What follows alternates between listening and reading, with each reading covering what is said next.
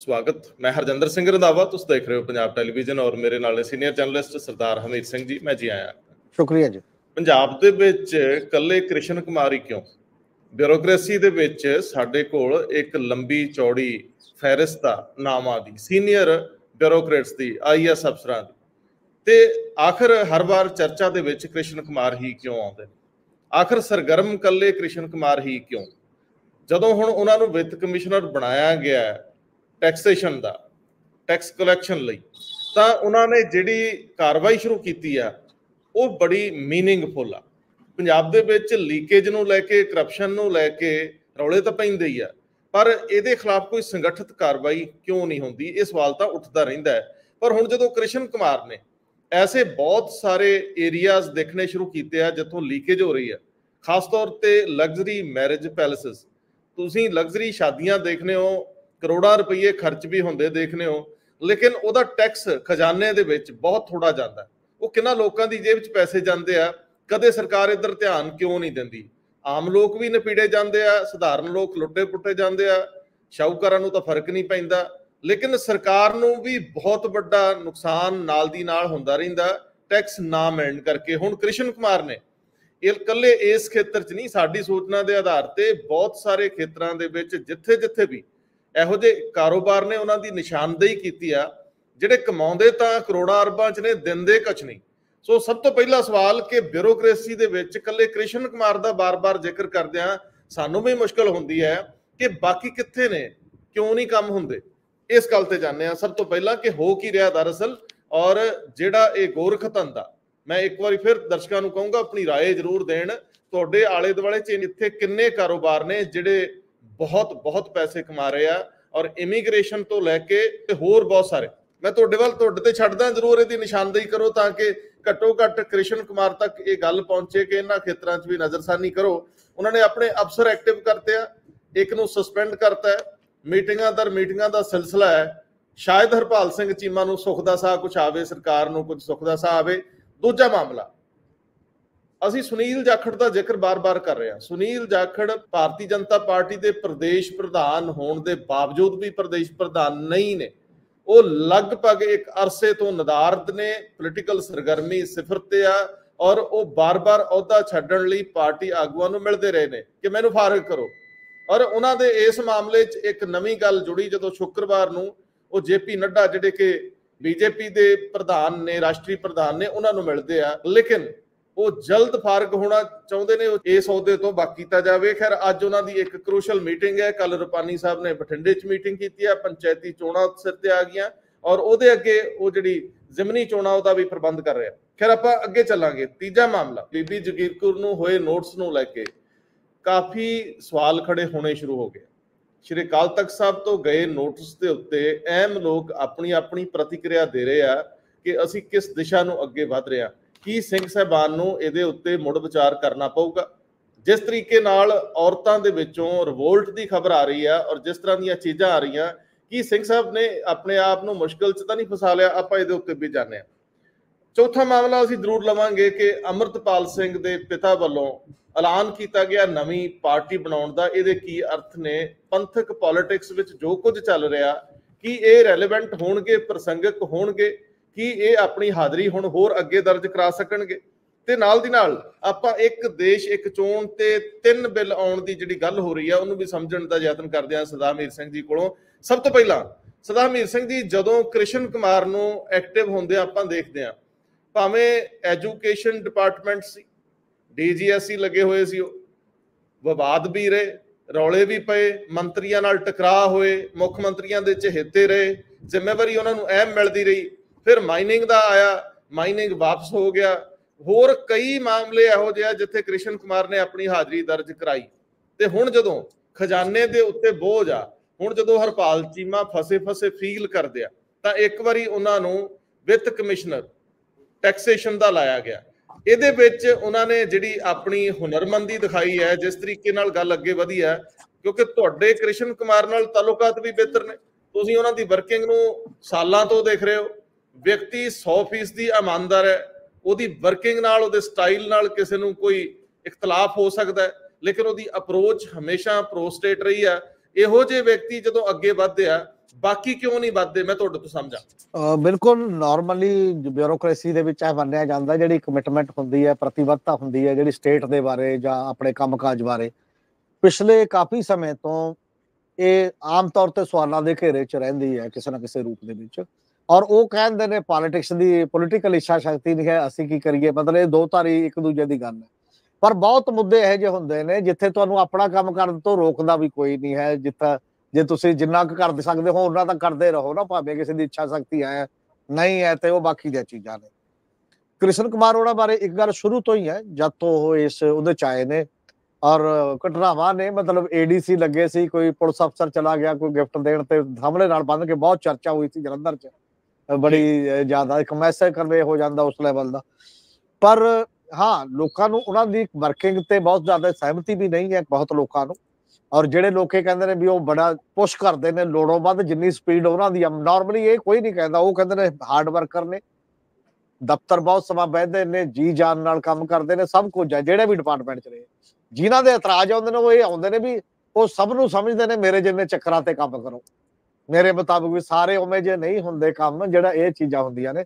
ਤੇ ਦੂਜੀ ਗੱਲ ਇਹ ਵੀ ਉਹਨਾਂ ਚਾਹੁੰਦੀ ਹੈ ਕਿ ਬਹੁਤ ਸਾਰੇ ਚੀਜ਼ਾਂ 'ਚ ਉਹ ਮਤਲਬ ਦੱਬ ਕੇ ਲੈ ਜਾਂਦੇ ਨੇ ਕੰਮ ਕਿਉਂਕਿ ਜਿਹਨੂੰ ਕਹਿੰਦੇ ਨੇ ਟਾਸਕ ਮਾਸਟਰ ਉਹ ਕਹਿੰਦੇ ਨੇ ਵੀ ਮੈਨੂੰ ਤਾਂ ਟਾਸਕ ਪੂਰਾ ਚਾਹੀਦਾ ਬਾਕੀ ਕੀ ਕੰਮ ਹੈ ਤੁਸੀਂ ਤੁਹਾਡੇ ਦੁੱਖ ਤਕਲੀਫ ਜੋ ਵੀ ਹੋਣ ਇਹਦਾ ਕੋਈ ਲੱਗਾ ਲਾਗਾ ਦੇਗਾ ਨਹੀਂ ਹੈ। ਇਹ ਕਰਕੇ ਥੋੜਾ ਜਿਹਾ ਇੱਕ ਦੂਜੀ ਗੱਲ ਹੈ ਪਰ ਇਹ ਤੋਂ ਕੋਈ ਮੁਨਕਰ ਨਹੀਂ ਹੁੰਦਾ ਕਿ ਉਹ ਜਿਹੜੇ ਵੀ ਡਿਪਾਰਟਮੈਂਟ 'ਚ ਗਏ ਜਿਹੜਾ ਵੀ ਕੰਮ ਕੀਤਾ ਉਹਦੇ ਤੇ ਉਹਨਾਂ ਨੇ ਇੱਕ ਰਿਜ਼ਲਟ ਦਿੱਤਾ ਹੈ, ਮਤਲਬ ਰਿਜ਼ਲਟ ਕਿਉਂ ਜਾਂ ਵੀ ਤੁਹਾਡੇ ਸਾਹਮਣੇ ਆਉਂਦਾ ਐਂ ਦਿਖਾਈ ਦਿੰਦਾ ਕਿ ਉਹ ਡਿਪਾਰਟਮੈਂਟ ਚਰਚਾ 'ਚ ਹੈ ਹਮੇਸ਼ਾ। ਕਿਸੇ ਨਾ ਕਿਸੇ ਰੂਪ ਦੇ ਵਿੱਚ। ਔਰ ਜਿੰਨਾ ਚਿਰ ਐਜੂਕੇਸ਼ਨ ਸੀ, ਹੁਣ ਚਾਹੇ ਸਰਵ ਸਿੱਖਿਆ ਅਭਿਆਨ, ਜੇ ਉਹ ਜਿਹੜਾ ਸਾਰਾ ਕੰਮ ਹੈ, ਇਹ ਤੇ ਪਾਲਿਸੀ ਤੇ ਦਿੱਕਤਾਂ ਤਾਂ ਬਹੁਤ ਨੇ ਲੋਕਾਂ ਦੀਆਂ ਔਰ ਹੋਣਗੀਆਂ ਵੀ, ਕਿ ਠੀਕ ਨਹੀਂ ਹੈ। ਪਰ ਐਗਜ਼ੀਕਿਊਸ਼ਨ ਦਾ ਮਾਮਲਾ ਜਿਹੜਾ ਚੱਲ ਰਿਹਾ ਤੇ ਉਹ ਸਾਡੇ ਸਾਹਮਣੇ ਉਸ ਰੂਪ ਦੇ ਵਿੱਚ ਚੱਲ ਰਿਹਾ ਇਸੇ ਤਰੀਕੇ ਦੇ ਨਾਲ ਜਦੋਂ ਆ ਆਇਆ ਕੰਮ ਜਲ ਸਰੋਤ ਵਿਭਾਗ ਦਾ ਹੁਣ ਕਿੰਨੇ ਹੀ ਪਟਵਾਰੀ ਕਿੰਨੇ ਹੀ ਚੀਫ ਚੀਫ ਇੰਜੀਨੀਅਰ ਤੇ ਕਿੰਨਿਆਂ ਨਾਲ ਹੀ ਕੰਟਰਡਿਕਸ਼ਨ ਵੀ ਇਵੋਲਵ ਹੋਈ ਉਹ ਸਾਰੇ ਮਾਮਲੇ ਦੇ ਵਿੱਚ। ਪਰ ਇੱਕ ਗੱਲ ਪਤਾ ਨਹੀਂ ਕਿਉਂ ਇਹ ਗੱਲ ਵੀ ਦੇਖਣ ਵਾਲੀ ਹੈ ਵੈਸੇ ਕਿ ਕ੍ਰਿਸ਼ਨ ਕੁਮਾਰ ਜਿਹੜਾ ਵੀ ਡਿਪਾਰਟਮੈਂਟ ਲੈਂਦੇ ਨੇ ਜਿਹੜਾ ਮੰਤਰੀ ਮਰਜ਼ੀ ਹੋਵੇ ਤੇ ਸਰਕਾਰ ਵੀ ਉਹਨਾਂ ਨੂੰ ਇੱਕ ਖੁੱਲੀ ਛੁੱਟੀ ਇੱਕ ਲੈਵਲ ਤੇ ਦਿੰਦੀ ਹੈ ਬਾਕੀ ਸੈਕਟਰੀਆਂ ਦੇ ਮਾਮਲੇ 'ਚ ਉਵੇਂ ਨਹੀਂ ਦੇਖਿਆ ਜਾਂਦਾ ਪਤਾ ਨਹੀਂ ਕੀ ਗੱਲ ਜਾਂ ਤਾਂ ਸਰਕਾਰ ਨੂੰ ਵੀ ਹਰੇਕ ਸਰਕਾਰ ਆ ਸਰਕਾਰ ਨਹੀਂ ਸਰਕਾਰ, ਚਾਹੇ ਅਮਰਿੰਦਰ ਸਿੰਘ ਦੀ ਹੋਵੇ, ਚਾਹੇ ਪ੍ਰਕਾਸ਼ ਸਿੰਘ ਬਾਦਲ ਦੀ ਹੋਵੇ, ਚਾਹੇ ਮਤਲਬ ਇਹ ਸਰਕਾਰ ਹੋਵੇ, ਤੇ ਇਟ ਮੀਨ ਜੇ ਉਹਨਾਂ, ਇੰਨਾ ਕੁ ਪ੍ਰਭਾਵਤਾ ਬਣ ਗਿਆ ਨਾ ਵੀ ਹਰ ਸਰਕਾਰ ਕਹਿੰਦੀ ਹੈ ਵੀ ਇਹ ਆਪਣੇ ਇੰਟਰਸਟ ਲਈ ਨਹੀਂ ਕੰਮ ਕਰ ਰਿਹਾ। ਜੋ ਵੀ ਕਰ ਰਿਹਾ ਤੇ ਉਹਦੇ ਲਈ ਉਹ ਕਰ ਰਿਹਾ ਹੋਊਗਾ। ਹੁਣ ਜਿਹੜਾ ਮਾਮਲਾ ਇਹ ਆਇਆ ਸਾਡੇ ਸਾਹਮਣੇ ਇਹ ਮਤਲਬ ਪਹਿਲਾਂ ਨਹਿਰੀ ਪਾਣੀ ਦਾ ਸਵਾਲ ਆਇਆ।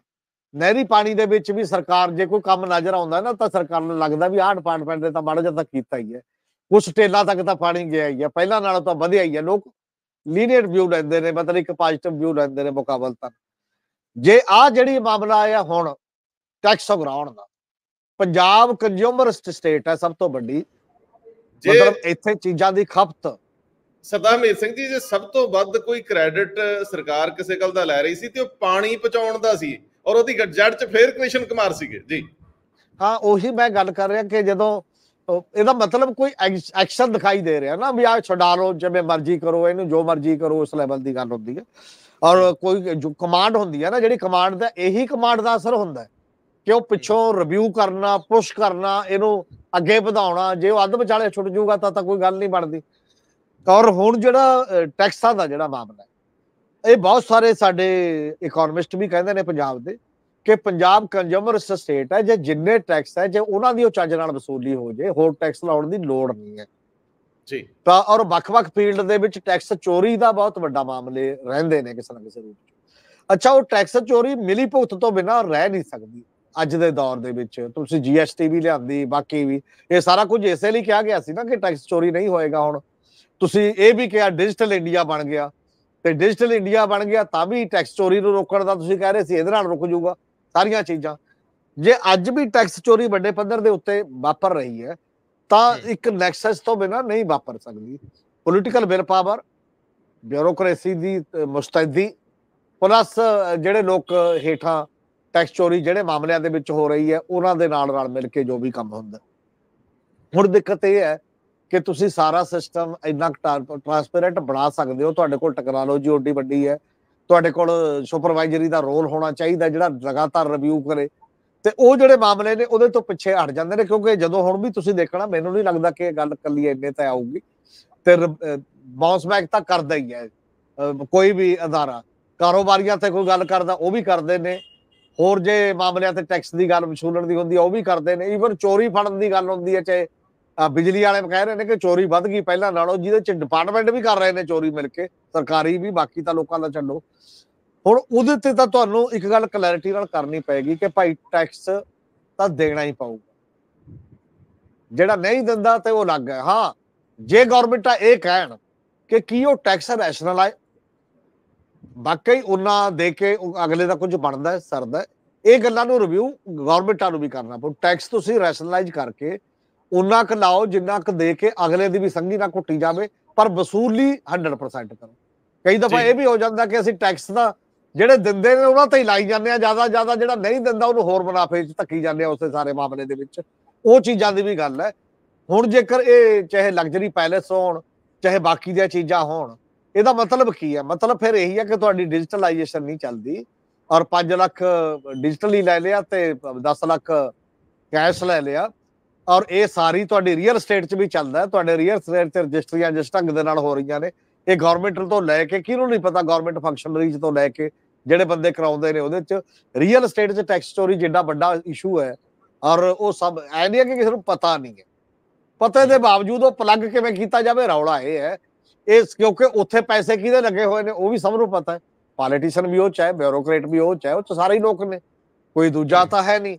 ਇਸ ਲਈ ਇਹ ਬੜਾ ਵੱਡਾ ਮਾਮਲਾ ਹੈ, ਜਿਹਨੂੰ ਉਹਨਾਂ ਨੇ ਹੱਥ ਪਾਇਆ ਉਸ ਪੱਧਰ ਦੇ ਉੱਤੇ। ਪਹਿਲਾਂ ਮਾਈਨਿੰਗ 'ਚ ਵੀ ਉਹਨਾਂ ਨੂੰ ਲਾਤਾ ਸੀ, ਫਿਰ ਥੋੜੇ ਦਿਨਾਂ ਬਾਅਦ ਹਟਾ ਦੇਣਾ ਪਿਆ ਸੀਗਾ। ਔਰ ਇੱਕ ਵਾਰ ਕ੍ਰਿਸ਼ਨ ਕੁਮਾਰ ਨੂੰ ਹਾਊਸਿੰਗ ਚਲਾਤਾ ਸੀ, ਪ੍ਰਕਾਸ਼ ਸਿੰਘ ਬਾਦਲ, ਉਹਨਾਂ ਨੇ ਥੋੜੇ ਦਿਨਾਂ ਦੇ ਵਿੱਚ ਕੰਮ ਗੜਬੜ ਹੋ ਗਿਆ ਸੀ। ਫਿਰ ਉਹਨਾਂ ਨੂੰ ਬੁਲਾ ਕੇ ਕਹਿੰਦੇ, ਕਿਹਾ ਗਿਆ ਵੀ ਤੁਸੀਂ ਹੋਰ ਦੱਸੋ ਜੀ, ਜਿਹੜਾ ਵੱਡੇ ਤੋਂ ਵੱਡਾ ਡਿਪਾਰਟਮੈਂਟ ਲੈਣਾ ਇੱਥੇ ਤਾਂ ਮੇਰੀ ਮਜਬੂਰੀ ਹੈ ਹੁਣ। ਤੇ ਕਿਤੇ ਐ ਨਾ ਨਾ ਮਜਬੂਰੀਆਂ ਬਣਨ ਲੱਗ ਜਾਣ, ਹੋਰ ਤਾਂ ਕੋਈ ਗੱਲ ਨਹੀਂ ਆ, ਬਾਹਲੀਆਂ ਵੱਡੀਆਂ। ਪਰ ਜੇ ਇਹ ਵੀ ਗੱਲ ਹੈ ਕਿ ਜੇ ਤੁਸੀਂ ਸੰਕਟ ਦੇ ਵਿੱਚੋਂ ਤਾਂ ਸੰਕਟ ਦੇ ਵਿੱਚੋਂ ਤਾਂ ਤੁਹਾਨੂੰ ਵਸੂਲੀ ਵੀ ਚਾਹੀਦੀ ਹੈ। ਹੁਣ ਸਰਕਾਰ ਦੀ ਬਿੱਲ ਪਾਵਰ ਤੇ ਨਿਰਭਰ ਇਹ ਕਰੂਗੀ ਗੱਲ ਕਿ ਕੀ ਵਾਕਈ ਜਿੰਨਾ ਟੈਕਸ ਬਣਦਾ ਤੁਹਾਡੇ ਕੋਲ ਜੇ ਆਉਂਦਾ ਹੈ ਤਾਂ ਤੁਹਾਡਾ ਤਾਂ ਖਜ਼ਾਨਾ ਭਰਿਆ ਜਾਊਗਾ। ਉਹਦਾ ਰੈਸ਼ਨਲਾਈਜ਼ ਕਰਨਾ ਤੇ ਜਿਹੜੇ ਵਰਕ ਕੰਮ ਕਰ ਰਹੇ ਨੇ ਚੰਗੇ ਜੇ ਜੈਨੂਨ ਵਸੂਲੀ ਹੋ ਰਹੀ ਹੈ ਤਾਂ ਉਹਦੇ ਨਾਲ ਖੜਨਾ ਜਾਂ ਤਬਾਦਲਾ ਛੇਤੀ ਹੋਏਗਾ ਜਾਂ ਨਾਲ ਖੜਿਆ ਜਾਏਗਾ ਇਹ ਗੱਲਾਂ ਦੇਖਣੀਆਂ ਹੁਣ ਗਵਰਨਮੈਂਟ ਦੇ ਬਾਅਦ ਚੋਣਗੇ ਬਾਕੀ ਵੀ ਜੇ ਫਿਰ ਇੱਕ ਟੈਸਟ ਦੇ ਤੌਰ ਦੇ ਉੱਤੇ ਕੋਈ ਇਹੋ ਜੀ ਗੱਲ ਹੈ ਮੈਨੂੰ ਇਹ ਲੱਗਦਾ ਹੁੰਦਾ ਕਿ ਗਵਰਨਮੈਂਟਾਂ ਨੂੰ ਇੱਕ ਗੱਲ ਤਾਂ ਚਾਹੀਦੀ ਹੈ ਸਿਵਲ ਸੁਸਾਇਟੀ ਨੂੰ ਜਾਂ ਬਾਕੀ ਵੀ। ਯੂਪੀ ਦੇ ਆਈਐਸਆ ਨੇ ਇੱਕ ਨਾ ਉਹ ਬਣਾਈ ਸੀ ਇੱਕ ਵਾਰ ਜਥੇਬੰਦੀ ਹੁਣ ਨਹੀਂ ਮੈਂ ਦੇਖੀ ਕਹਿੰਦੇ ਕਾਫੀ ਪਹਿਲਾਂ ਬਣਾਈ ਸੀ। ਯੂਪੀ ਤੋਂ ਸ਼ੁਰੂ ਹੋ ਕੇ ਹੋਰ ਵੀ ਜੁੜ ਗਏ ਸੀ ਉਹਦੇ ਨਾਲ। ਮੋਸਟ ਕਰਪਟ ਬਿਊਰੋਕਰੇਟ ਕਿਹੜੇ ਨੇ ਉਹ ਇਹਨਾਂ ਦਾ ਨਾਂ ਕੱਢਦੇ ਸੀ ਸਾਲ ਦੇ ਵਿੱਚ ਕੰਟਰੀ ਚੋਂ। ਅੱਛਾ। ਇਹਦਾ ਮਤਲਬ ਉਹਦਾ ਮਤਲਬ ਉਹ ਜੈਨੂਅਨ ਬੰਦਿਆਂ ਨੇ ਬਣਾਈ ਹੋਣੀ ਹੈ ਬਿਊਰੋਕਰੇਟ ਜੈਨੂਅਨ ਨਹੀਂ ਹੋਣਗੇ ਹੋਰ ਤਾਂ ਕੋਈ ਨਹੀਂ ਹੋਣਗੇ ਹਜੇ ਜਿਹੜੇ ਇੱਕ ਬਾਕੀ ਸੀਗੇ। ਉਹ ਫਿਰ ਬੰਦ-ਬੰਦ ਹੋ ਗਿਆ ਕੰਮ। ਸਾਡੇ ਜੇ ਮੋਸਟ ਕਰਪਟ ਨਹੀਂ ਕੱਢਣੇ ਤਾਂ ਮੋਸਟ ਓਨੈਸਟ ਤਾਂ ਕੱਢ ਲਓ ਸਟੇਟ ਦੇ ਵਿੱਚ ਕੋਈ ਵੀ, ਜਿਹੜੇ ਵੀ ਡਿਪਾਰਟਮੈਂਟ ਦੇ ਅਫਸਰ ਨੇ ਮੁਲਾਜ਼ਮ ਨੇ ਜਾਂ ਈਵਨ ਪੋਲੀਟੀਸ਼ੀਅਨ ਵੀ ਹੋਵੇ, ਕੋਈ ਇਹੋ ਜਿਹੀਆਂ ਸੰਸਥਾਵਾਂ ਹੋਣੀਆਂ ਚਾਹੀਦੀਆਂ ਨੇ ਜਿਹੜੀਆਂ ਇਸ ਲੈਵਲ ਤੇ ਵਿਚਰਨ। ਉਹਨਾਂ ਕੋਲ ਪੂਰੀ ਨੌਲੇਜ ਹੋਵੇ ਗਵਰਨਮੈਂਟ ਵੀ ਦੇਵੇ ਤੇ ਬਾਕੀ ਵੀ ਹੋਵੇ। ਕੋਈ ਜੈਨੂਨ ਆਦਮੀਆਂ ਦੀ ਪਿੱਠ ਥਾਪੜਦੇ ਰਹੋ ਤੇ ਜਿਹੜੇ ਨਹੀਂ ਕਰਦੇ, ਬਿਲਕੁਲ ਕੰਮ ਜਾਂ ਬਿਲਕੁਲ ਹੀ ਕਰਪਸ਼ਨ ਕਰਪਟ ਪ੍ਰੈਕਟਿਸਸ ਕਰਦੇ ਨੇ ਉਹਨਾਂ ਦੇ ਨਾਮ ਵੈਸੇ ਨਸ਼ਰ ਕਰਦੇ ਰਿਹਾ ਕਰੋ। ਇਹ ਦੋ ਕੰਮ ਵੀ ਕਰ ਦੋ, ਇਹਦੇ ਨਾਲ ਵੀ ਕਾਫੀ ਜ਼ਿਆਦਾ ਫ਼ਰਕ ਪੈ ਸਕਦਾ ਜੇਕਰ ਸੁਸਾਇਟੀ ਦੇ ਵਿੱਚ ਚੰਗੇ ਮਾੜੇ ਦੀ ਪਛਾਣ ਹੋਣ ਲੱਗ ਜੇ ਕਿਸੇ ਨਾ ਕਿਸੇ ਵਿੱਚ। ਉਹ ਪੰਜਾਬ ਦੇ ਬਿਊਰੋਕਰੇਟਸ ਬਾਰੇ ਨਾ, ਵੈਸੇ ਦੇਸ਼ ਭਰ ਦੇ ਬਿਊਰੋਕਰੇਟਸ ਰਾਏ ਕਹਿੰਦੇ ਬਹੁਤ ਖੂਬਸੂਰਤ ਜਾਂ ਬਿਹਤਰ ਨਹੀਂ ਬਣਦੀ। ਮਸੂਰੀ ਜਾਂ ਕਿਤੇ ਹੋਰ ਟ੍ਰੇਨਿੰਗ ਦੇ ਦੌਰਾਨ ਜਦੋਂ ਉੱਥੇ ਗੱਪਸ਼ਪ ਹੁੰਦੀ ਹੈ ਤਾਂ ਜਿਸ ਤਰ੍ਹਾਂ ਦੇ ਟੋਟਕੇ ਸੁਣਾਏ ਜਾਂਦੇ ਨਾ, ਉਹ ਵੀ ਦਿਲਚਸਪੀ ਤੋਂ ਘੱਟ ਨਹੀਂ। ਖੈਰ, ਆਪਾਂ ਇੱਥੇ ਉਹਨਾਂ ਦਾ ਜ਼ਿਕਰ ਨਹੀਂ ਕਰਾਂਗੇ। ਮੈਂ ਸਰਦਾਰ ਹਮੀਤ ਸਿੰਘ ਜੀ, ਆਪਣੇ ਸਰੋਤਿਆਂ ਨੂੰ ਵੀ ਆਵਾਜ਼ ਦੇਣਾ ਚਾਹੂੰਗਾ ਕਿ ਤੁਹਾਨੂੰ ਜਿੱਥੇ ਜਿੱਥੇ ਲੀਕੇਜ ਲੱਗਦੀ ਹੈ।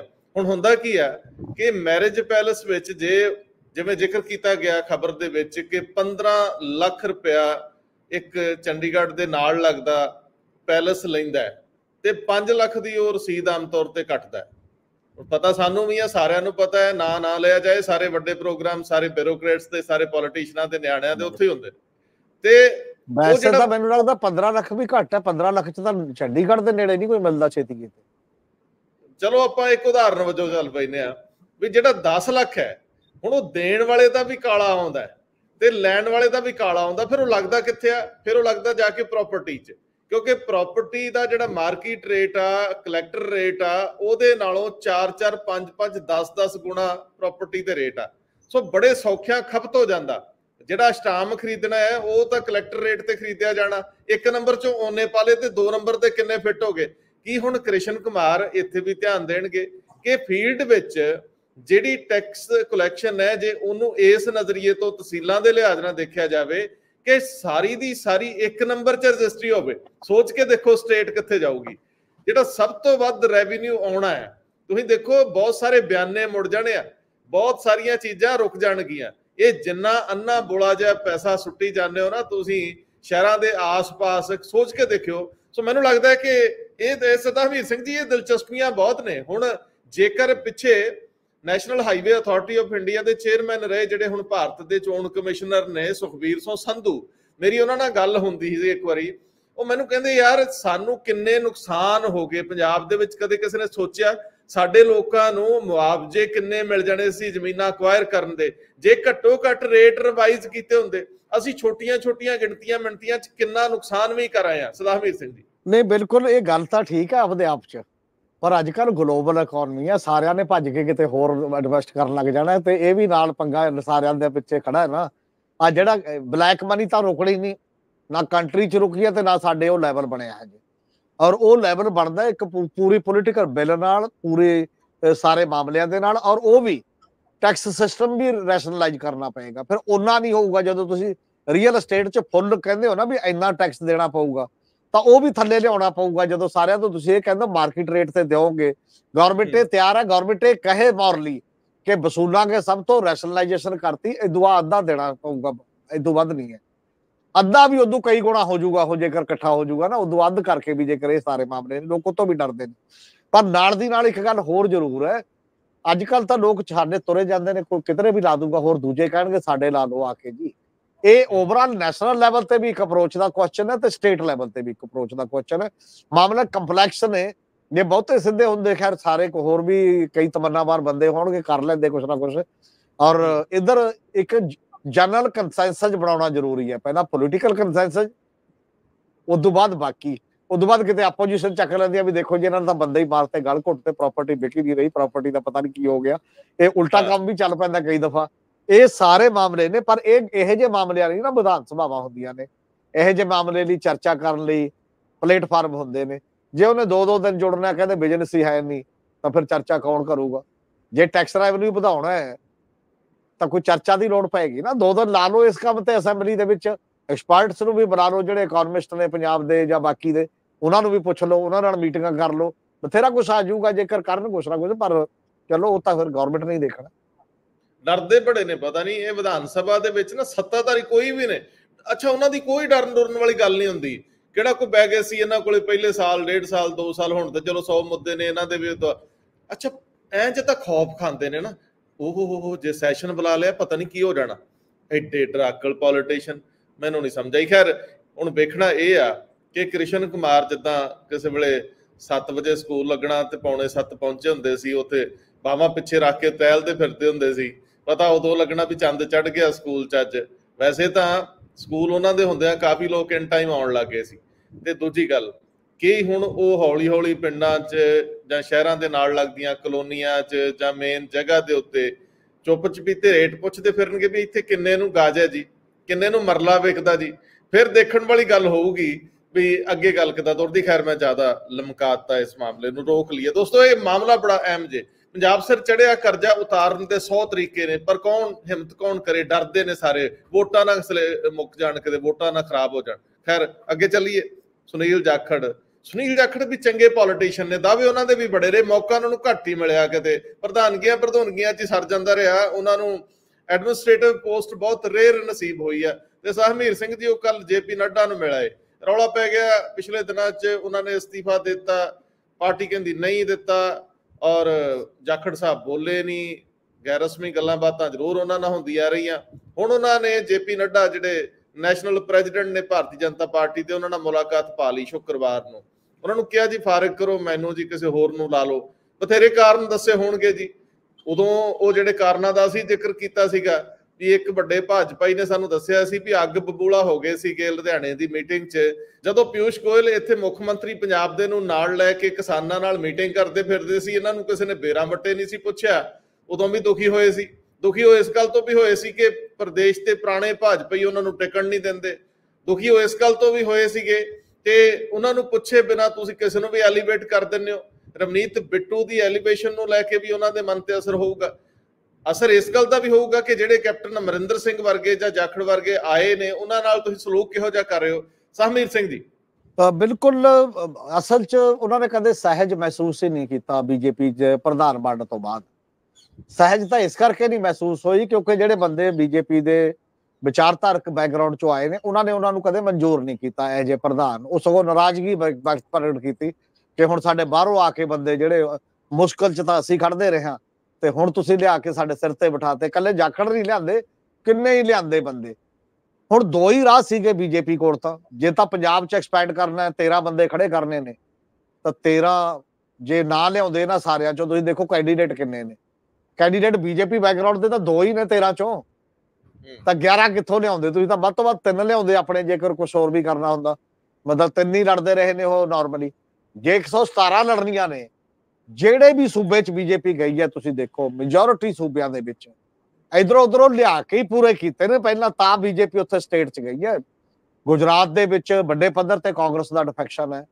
ਈਵਨ ਮਹਾਰਾਸ਼ਟਰ ਦੇ ਵਿੱਚ ਵੀ ਕਾਂਗਰਸ ਸਿਵ ਸੈਨਾ ਨੂੰ ਵੀ ਤੁਸੀਂ ਨਾਲ ਲੈ ਕੇ ਇਧਰ ਉਧਰ ਲੈ ਕੇ ਗਏ।